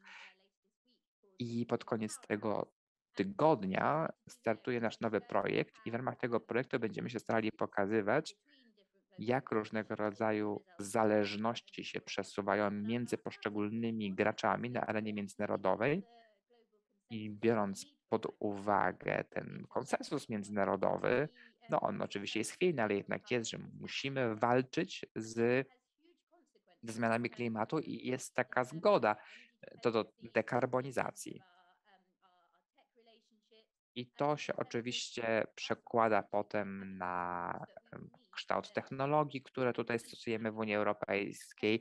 To się przekłada też na narzędzia, którymi się będziemy musieli pos posługiwać, żeby dbać o odpowiedni stan środowiska. I teraz główne przesłanie jest takie, że instytucje europejskie, ale też rządy krajowe muszą to rozumieć. To znaczy, nie powinniśmy się koncentrować tak bardzo na ryzyku, z jakim to się wiąże dla na przykład firm europejskich, również w kontekście tego pakietu Fit for 55 powinniśmy się bardziej koncentrować na ryzyku, które wiąże się z brakiem jakiejkolwiek aktywności, bo jeżeli nie będziemy podejmować działań odpowiednio wcześniej, jeżeli nie będziemy kształtować naszych stosunków z partnerami, z pozostałymi krajami trzecimi, które będą nam w przyszłości potrzebne, żeby e, po prostu osiągnąć nasze cele klimatyczne, które sobie e, wyznaczyliśmy, to po pewnym czasie okazuje się, że ryzykujemy to, że nie będziemy już w stanie dokonywać tak wielu wyborów, ponieważ po prostu e, staniemy w takiej, przed taką sytuacją, że będziemy musieli działać, ponieważ zagrożenia będą już tak wielkie. I jest bardzo wiele państw członkowskich, tak jak mówił Tomasz, i nie będziemy mogli zachować w tych państwach suwerenności, będziemy zależni od tych różnych mechanizmów. Więc e, wydaje mi się, że to właśnie tę narrację musimy promować i proponować. E, nie, my ma, nie mamy wyjścia, musimy tak naprawdę wejść, zainterweniować wcześniej i starać się to środowisko jakoś tam e, uratować, żeby w ogóle przetrwać w tej nowej rzeczywistości globalnej. I teraz już kończąc, myślę, że realizm i uczciwość w tych kwestiach w dyskusji politycznej byłoby pomocne, dlatego że w ten sposób rozbroimy populistyczne argumenty, e, że mianowicie te kwestie klimatyczne i ochrona klimatu to jest kwestia jakiegoś spisku globalnego. W ten sposób bo suwerenność to możliwość podejmowania, dokonywania wyborów, kiedy jeszcze można ich dokonać, czyli teraz, e, kiedy jeszcze można wpływać na przyszłe relacje. I że wcale nie chodzi o to, żeby odbierać komuś wybór na poziomie krajowym. Mimo, że to nie jest temat dzisiejszej dyskusji, myślę, że to będzie bardzo ważne, jeżeli chodzi o nasze międzynarodowe relacje, żeby y, stworzyć jakąś uczciwą podstawę dialogu również z państwami trzecimi, żeby wytłumaczyć, czemu to robimy, że to nie chodzi o pouczanie, że to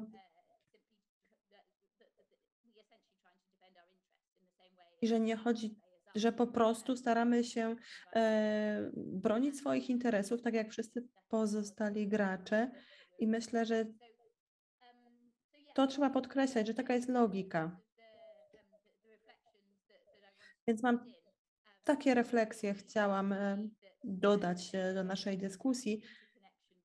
Myślę, że istnieje bardzo silne powiązanie pomiędzy tym, co robimy w polityce e, międzynarodowej i w tym, jak postrzegamy konkurencyjność w tej całej debacie. Dziękuję bardzo, Suzy. Y, I y, ja chciałbym, y, teraz mamy jeszcze 18 minut naszej dyskusji. Jeżeli ktokolwiek z Was chciałby zabrać głos z jakimś szczególnym tutaj punktem, to bardzo proszę o, o, o sygnał poprzez podniesienie dłoni czy w jakikolwiek inny. Natomiast ja chciałbym zadać pytanie Joannie y, y, Panderze Maćkowiak w nawiązaniu do tego, y, co przed chwilą mówiła Suzy i, i, i co mówił również Tomasz. Mianowicie mam takie wrażenie, że, że interesuje mnie ten, ta, ten link pomiędzy kwestią obrazu, jaki mamy Unii Europejskiej, a, a problematyką transformacji klimatycznej. To znaczy, to jest, Suzy mówiła o tym, że my że w gruncie rzeczy no, y, Unia Europejska jest tym podmiotem, który może y, mm, coś zrobić dla ochrony klimatu i jest, jest tą organizacją, która jest absolutnie niezbędna do tego, żeby, żeby te, ten, ten, to wielkie zadanie e, zrealizować. E, ale z drugiej strony przez całą tą naszą rozmowę przebija się ten wątek, że ta polityka klimatyczna no, jest tym, y, tak jak mówiła Katrin, jak mówił Tomasz, jak mówił również Filip Pazderski, y, Jedwin, y, no jest tym źródłem nastrojów antyeuropejskich, populistycznych, które w gruncie rzeczy podważają legitymizację Unii Europejskiej. I, i w tym, o, o czym tutaj rozmawialiśmy, pojawiają się dwa takie punkty, dwa takie pojęcia, które które, o które chciałbym Ciebie zapytać, jak, jak Ty na nie odpowiadasz. Znaczy, jeden to jest ta suwerenność energetyczna. To znaczy, właściwie Suzy już o tym trochę mówiła, ale ciekaw jestem, jak Ty na to patrzysz jako, jako ekspert od, od, ener, od polityki energetycznej. To znaczy, co to jest w zasadzie suwerenność energetyczna i czy, i czy to jest coś, o co w ramach Unii Europejskiej powinniśmy zabiegać jako kraje członkowskie? A po drugie, kwestia tych no, kosztów, y, y, kosztów y, transformacji energetycznej, która bardzo często mówi się, no, że to jest po prostu wina Unii Europejskiej. To znaczy, że to jest to przez politykę Unii Europejskiej, przez Zielony Ład będziemy mieć wyższe ceny energii, wyższe koszty społeczne i tak dalej. Jak, jak, na te, jak ty jako specjalistka od, od spraw transformacji energetycznej, jak ty na te dwa punkty byś odpowiedziała? Mm, muszę powiedzieć też, że bardzo y, jestem wdzięczna, że mogę uczestniczyć w tej dyskusji, bo usłyszałam wiele inspirujących rzeczy, do których może jeszcze nawiążę, ale co do suwerenności, no to moim zdaniem my tutaj jakby borykamy się z takim y, po prostu y, powtarzaniem frazesów, y, które nie mają pokrycia tak do końca w faktach. No bo rzeczywiście kiedyś tak było, 40 lat temu, może 20 jeszcze lat temu, że suwerenność energetyczna opierała się wyłącznie na surowcach, dostępie do własnych zasobów. E, I to było coś, co spowodowało, że Polska e, statystycznie była jednym z najbardziej niezależnych energetycznie krajów Unii Europejskiej, być może no na świecie pewnie nie, ale w Unii Europejskiej na pewno. Natomiast to się zaczęło też zmieniać i dla mnie jest to niesamowite, że my nie zauważyliśmy, że na przykład, e, że, że, że w zasadzie nasza zależność od dostaw energetycznych wzrosła w ciągu ostatnich 10 lat o 60%. My to akurat zmierzyliśmy, bo to się, na to się nałożyły zarówno wzrost y, dostawy, dostaw węgla. Nie zauważyliśmy, że zaczyna nam brakować naszego krajowego surowca. Teraz mamy taki bardzo duży entuzjazm związany z gazem i z tym, że Polska się dywersyfikuje, jeśli chodzi o dostawy gazu. W związku z tym cała gospodarka teraz przejdzie na gaz i nagle się okazuje, że ten temat niezależności energetycznej, suwerenności nie, nie odgrywa już znaczenia. Też coraz więcej energii elektrycznej importujemy. To akurat y, chwilowo jest tak, że bardziej eksportujemy, ale więc dla mnie wymiar y, bo pytanie, czy mówimy o suwerenności, bo w zasadzie możliwość sprowadzania y, surowców energetycznych czy energii jest, nie jest zjawiskiem negatywnym. My dzięki temu zmniejszamy koszty transformacji czy w ogóle energii w kraju. Więc dopóki, o ile mamy też jakiś wybór, to jest kwestia taka, która nie ogranicza nas, y, y, jeśli chodzi o ruchy też polityczne. Więc y, ja nie wiem, czy mówimy o suwerenności, czy niezależności energetycznej. Na pewno to, co się zmieniło, to jest to, że jakby jeżeli nie zaczniemy się transformować w stronę źródeł odnawialnych, to nasza zależność energetyczna od innych krajów będzie tylko rosła, bo będzie rosło uzależnienie od y, gazu, od ropy. Właściwie mm, na przykład też mnie zastanawia, że w kontekście energii nuklearnej, z którą ja nie dyskutuję, być może ona jest potrzebna do osiągnięcia neutralności klimatycznej, ale że próbuje się narzucić taką narrację, że to jest element naszego bezpieczeństwa energetycznego, bo moim zdaniem trudno o projekt inny, który byłby bardziej upolityczniony, uzależniał nas de facto od woli politycznej jednego przedsiębiorstwa czy państwa. Więc y, tu mam akurat takie dosyć y, znak zapytania. Dlatego Teraz moim zdaniem mówimy o, w, w nowoczesnym systemie o e, elektryfikacji, o źródłach odnawialnych, więc wymiar e, bezpieczeństwa energetycznego będzie się przenosił przede wszystkim na stabilne dostawy energii elektrycznej, bo w tej chwili widzimy, że właściwie cała Europa jest rozedrgana wokół tego, czy dojdzie do blackoutu, czy nie, no bo ceny surowców wyskakują, ceny CO2. Więc, więc to jest y, y, taki wątek, gdzie moim zdaniem trzeba rozmawiać o bezpieczeństwie energetycznym i o tym, że ten wymiar się zmienia w związku z transformacją. A co do, co do kosztów, to y, no tutaj ta dyskusja jest bardzo złożona, bo my na przykład straty górnictwa w zeszłym roku sięgnęły ponad dwóch, to są ponad 2 miliardy złotych. No o tym nie mówimy też, że my topimy bardzo dużo pieniędzy i niekoniecznie inwestujemy w rynek mocy, czyli wsparcie elektrowni węglowych kosztuje nas 5 miliardów złotych rocznie, też nie do, nie do końca jakby to jest inwestycja na przyszłość. Umyka nam też to, że nasz sektor energetyczny jest po prostu stary i my musimy inwestować w nowe źródła. Większość elektrowni ma powyżej 70% elektrowni ma powyżej 40 lat. Więc to nie jest tak, że właśnie dlatego bardzo mi się podobało to, co Suzy powiedziała, że wmawia nam się tak, jakbyśmy my mieli teraz wybór, czy, czy się transformujemy, czy się nie transformujemy. Ja to też słyszę bardzo często w Polsce, że my tak jakbyśmy sobie stali i mogli sobie wybrać, że tu jest ta ścieżka i ta jest droższa, a ta jest, a tu możemy sobie zostać i właściwie nie wiadomo co w związku z tym, bo, bo powrotu do węgla właściwie nie ma. Tutaj też nie rozmawiamy o tym, jak jak bardzo sektor bankowy będzie się pozbywał aktywów węglowych.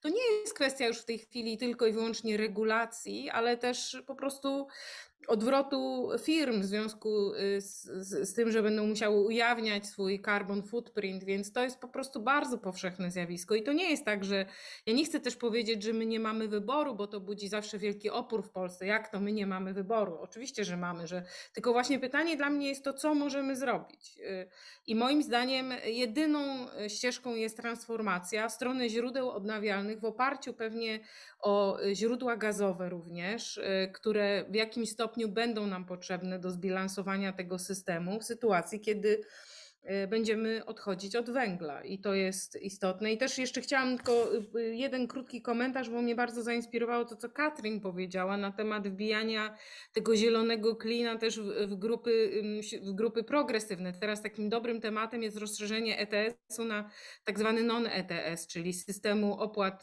za emisję na na cały sektor transportu i budynków. To tutaj organizacje, y, wiele jest strasznie podzielona dyskusja.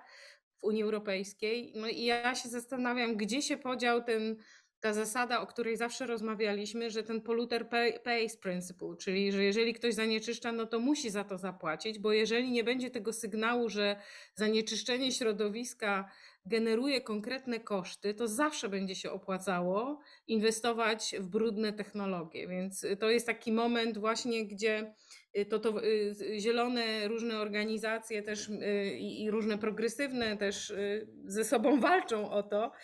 Tak naprawdę u podstaw tego jest głęboki lęk, właśnie, że sobie nie poradzimy, że też populizm nas zabije i to jest na pewno jakieś wyzwanie, ale no nie możemy też zapominać o, o merytoryce i o tym, że po prostu też chcemy y, ograniczać emisje z, z transportu i z budynków, również dlatego, nie ze względu na klimat, ale też y, czystość powietrza. Także tyle komentarza z mojej strony. Dziękuję bardzo, Joanno. Ja, ja chciałbym jeszcze może y, zapytać, mamy jeszcze dosłownie parę minut, więc krótkie, krótkie pytanie do Tomasza.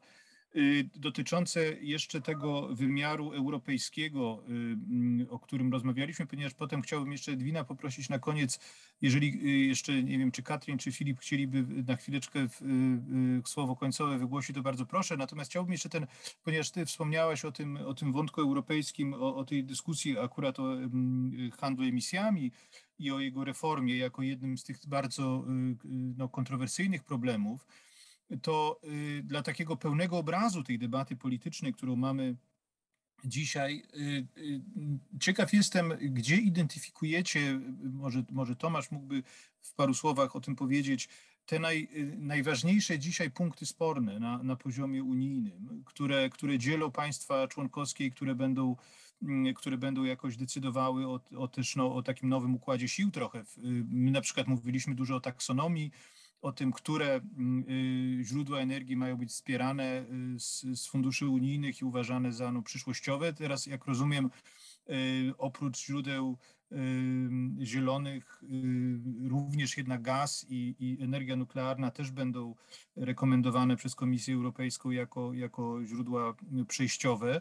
Czy to jest ta debata, która, która ma największy potencjał polityczny, czy, czy są jakieś inne jeszcze wątki tej dyskusji, gdzie byś widział taką mapę, y, jak byś widział taką mapę tych, tych podziałów politycznych dzisiaj, dzisiaj w Europie y, no, w, tej, w tej fazie implementacji Zielonego Ładu?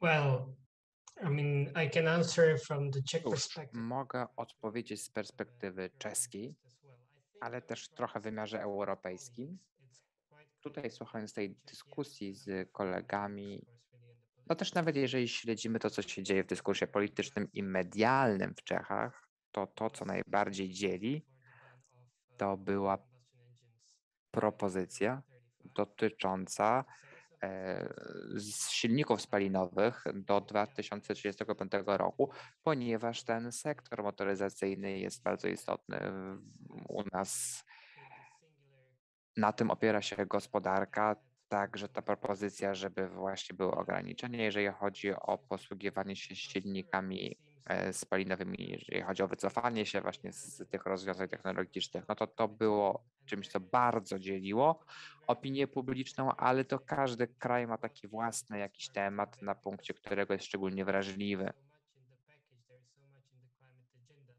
Jeżeli chodzi o tę agendę klimatyczną, tam jest bardzo dużo różnych elementów, więc każdy kraj coś dla siebie znajdzie, co ma potencjał w zakresie polaryzacji i też na przykład publiczne e, finansowanie inwestycji, jeżeli chodzi o technologie gazowe, rynek energetyczny, ETS to też jest coś, co wywołuje kontrowersje, zwłaszcza w kontekście kryzysu energetycznego i wzrostu cen energii dla gospodarstw domowych to może się wiązać z ETS-em, może się nie wiązać z ETS-em, ale wiele ludzi tak to postrzega. Także ta sytuacja może być różna w różnych krajach. U nas sytuacja jest dosyć jasna. Rozmawialiśmy też z urzędnikami z komisji i tam było powiedziane, że jeżeli chcemy zwiększyć akceptację dla tego pakietu w Czechach, to nie można zakazywać sprzedaży silników spalinowych, ponieważ można ten sam rezultat osiągnąć innymi środkami. Natomiast ten zakaz sprzedaży silników spalinowych to będzie coś, co będzie na pierwszych stronach wszystkich gazet e, czeskich i to będzie no, napędzać te nastroje antyunijne u nas. Także zobaczymy, czy można coś z tym zrobić, czy można jakoś ograniczyć tutaj potencjalne szkody. Natomiast w innych państwach członkowskich Unii Europejskiej debata może się skupiać na innych tematach i inne tematy będą szczególnie kontrowersyjne, też w zależności od tego, co się dzieje w polityce wewnętrznej, na przykład we Francji. Prawdopodobnie ważnym tematem politycznym w kolejnych trzech miesiącach przynajmniej. No to, to będzie coś, co się będzie działo w kontekście prezydencji i wyborów. I potem od lipca prezydencja czeska My tak naprawdę jeszcze nie wiemy, jakie są priorytety krajowe. I muszę też powiedzieć, że zdolności naszej administracji jej finansowanie, to wszystko nie jest satysfakcjonujące, także boimy się, czym to się skończy i mamy nadzieję, że prezydencja francuska przepnie jak najwięcej rzeczy tak szybko, jak to jest tylko możliwe. Także zobaczymy, czy nowy rząd wejdzie w rolę takiego uczciwego brokera. To będzie bardzo ciekawe. Musimy obserwować, co się będzie działo. I ja miałbym nadzieję, że nowy rząd może w końcu w mniejszym stopniu realizować cele polityki wewnętrznej, które są niezgodne ze celami unijnymi, a bardziej się skoncentrować na działaniach bardziej w duchu europejskim w kontekście Fit for 55 na przykład.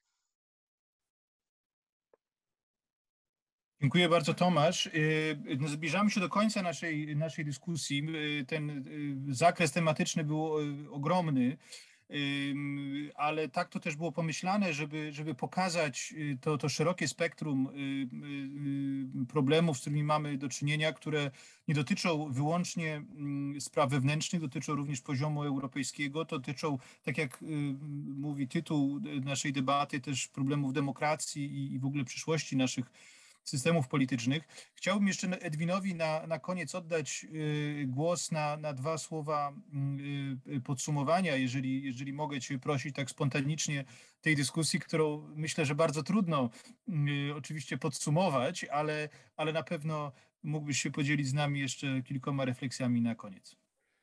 O, dziękuję bardzo. Po pierwsze chciałem podziękować, bo rzeczywiście fantastyczna rozmowa, mnóstwo wątków no, pokazujących y, całą złożoność tego problemu, sięgającą od wymiaru makro po taką złożoność kryjącą się w każdym z nas, gdzie tak naprawdę jak staniemy przed wyborami, to sami siebie nie znamy, prawda? I nasze deklaracje mogą się rozmijać z tym, co będziemy gotowi rzeczywiście robić, to co pan Filip y, Pazderski po, po, pokazał, więc, więc, więc to pokazuje, jak, jak nie, niezwykłym przedsięwzięciem mamy do czynienia i rzeczywiście, no bo też musimy sobie zdać sprawę, że przy całej nieuniknioności tego procesu, bo wiemy, że musimy tego dokonać i mamy tego świadomość, y, bo myślę, że w Polsce paradoksalnie lepiej niż gdziekolwiek indziej, dlatego że ten system poprzedni upadł dlatego, że po prostu doszło do zapaści systemu energetycznego, nie suwerennego, tylko autarkicznego. I ta autarkia energetyczna i pełne uzależnienie od węgla przy warunkach coraz gorszych, y, coraz,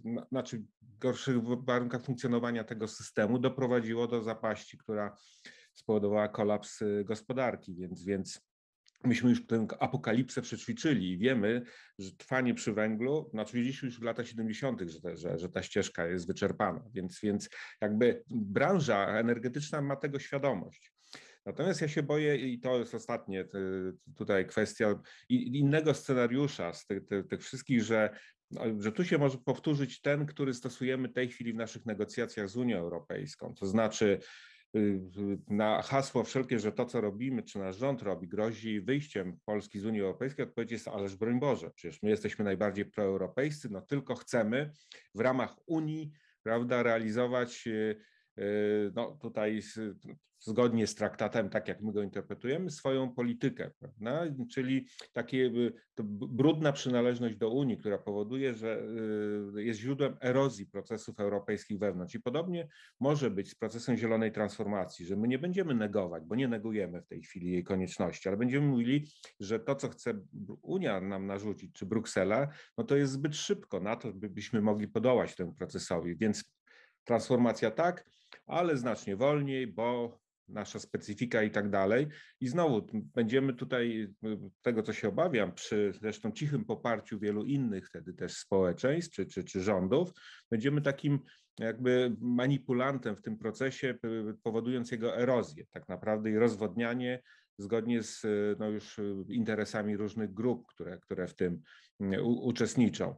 I, I, dobrym przykładem, że tak może być, to nie jest tylko proces europejski, to już ostatnie zdanie, ale również lekcja pandemii, że ten rząd, e, który no, chciałby być autorytarny, mieć pełną władzę, prawda, i, i odwołuje się do, tutaj do, do, do, różnych atrybutów, jest jednocześnie najsłabszym rządem, jaki mamy w ostatnich 30 latach. Znaczy nie, nie jest w stanie podjąć żadnych działań, jeśli chodzi o ochronę bezpieczeństwa w kontekście pandemii, tak, bo tak się obawia, znaczy jest tak, tak y, jakby ma oportunistycznie zdefiniowaną swoją politykę, że każdy ewentualny głos sprzeciwu społecznego, zwłaszcza w grupie elektoratu, no powoduje, że po prostu jesteśmy wystawieni na całkowitą tutaj mm, bezradność, więc, więc, y, więc to, to, to, to jest moim zdaniem najpoważniejsze zagrożenie, że my wejdziemy w ten proces, ale będziemy go tak rozwadniać, że stanie się to nawet atrakcyjne dla, dla części innych też polityków, grup interesów w całej Europie i, i, i tutaj ta nasza awangardowość może mieć najbardziej zły wyraz. To tyle na, na zakończenie. Jeszcze raz dziękując Państwu za, za, za y, tą wspaniałą dyskusję. Dziękuję bardzo y, Edwin, dziękuję Państwu bardzo. Te słowa y, Edwina na koniec były dość pesymistyczne, ale myślę, że no, wszystkie nasze instytucje tutaj reprezentowane mają wspólny, wspólny cel, żeby do, tak, do realizacji tak pesymistycznego scenariusza nie dopuścić i myślę, że to będzie też towarzyszyć i naszej współpracy w najbliższych miesiącach i różnym naszym działaniom. Bardzo dziękuję wszystkim panelistom, dziękuję wszystkim, którzy wytrwali z nami przez te dwie godziny mimo problemów technicznych. Życzę Państwu dobrego wieczoru i do zobaczenia wkrótce. Dziękuję bardzo.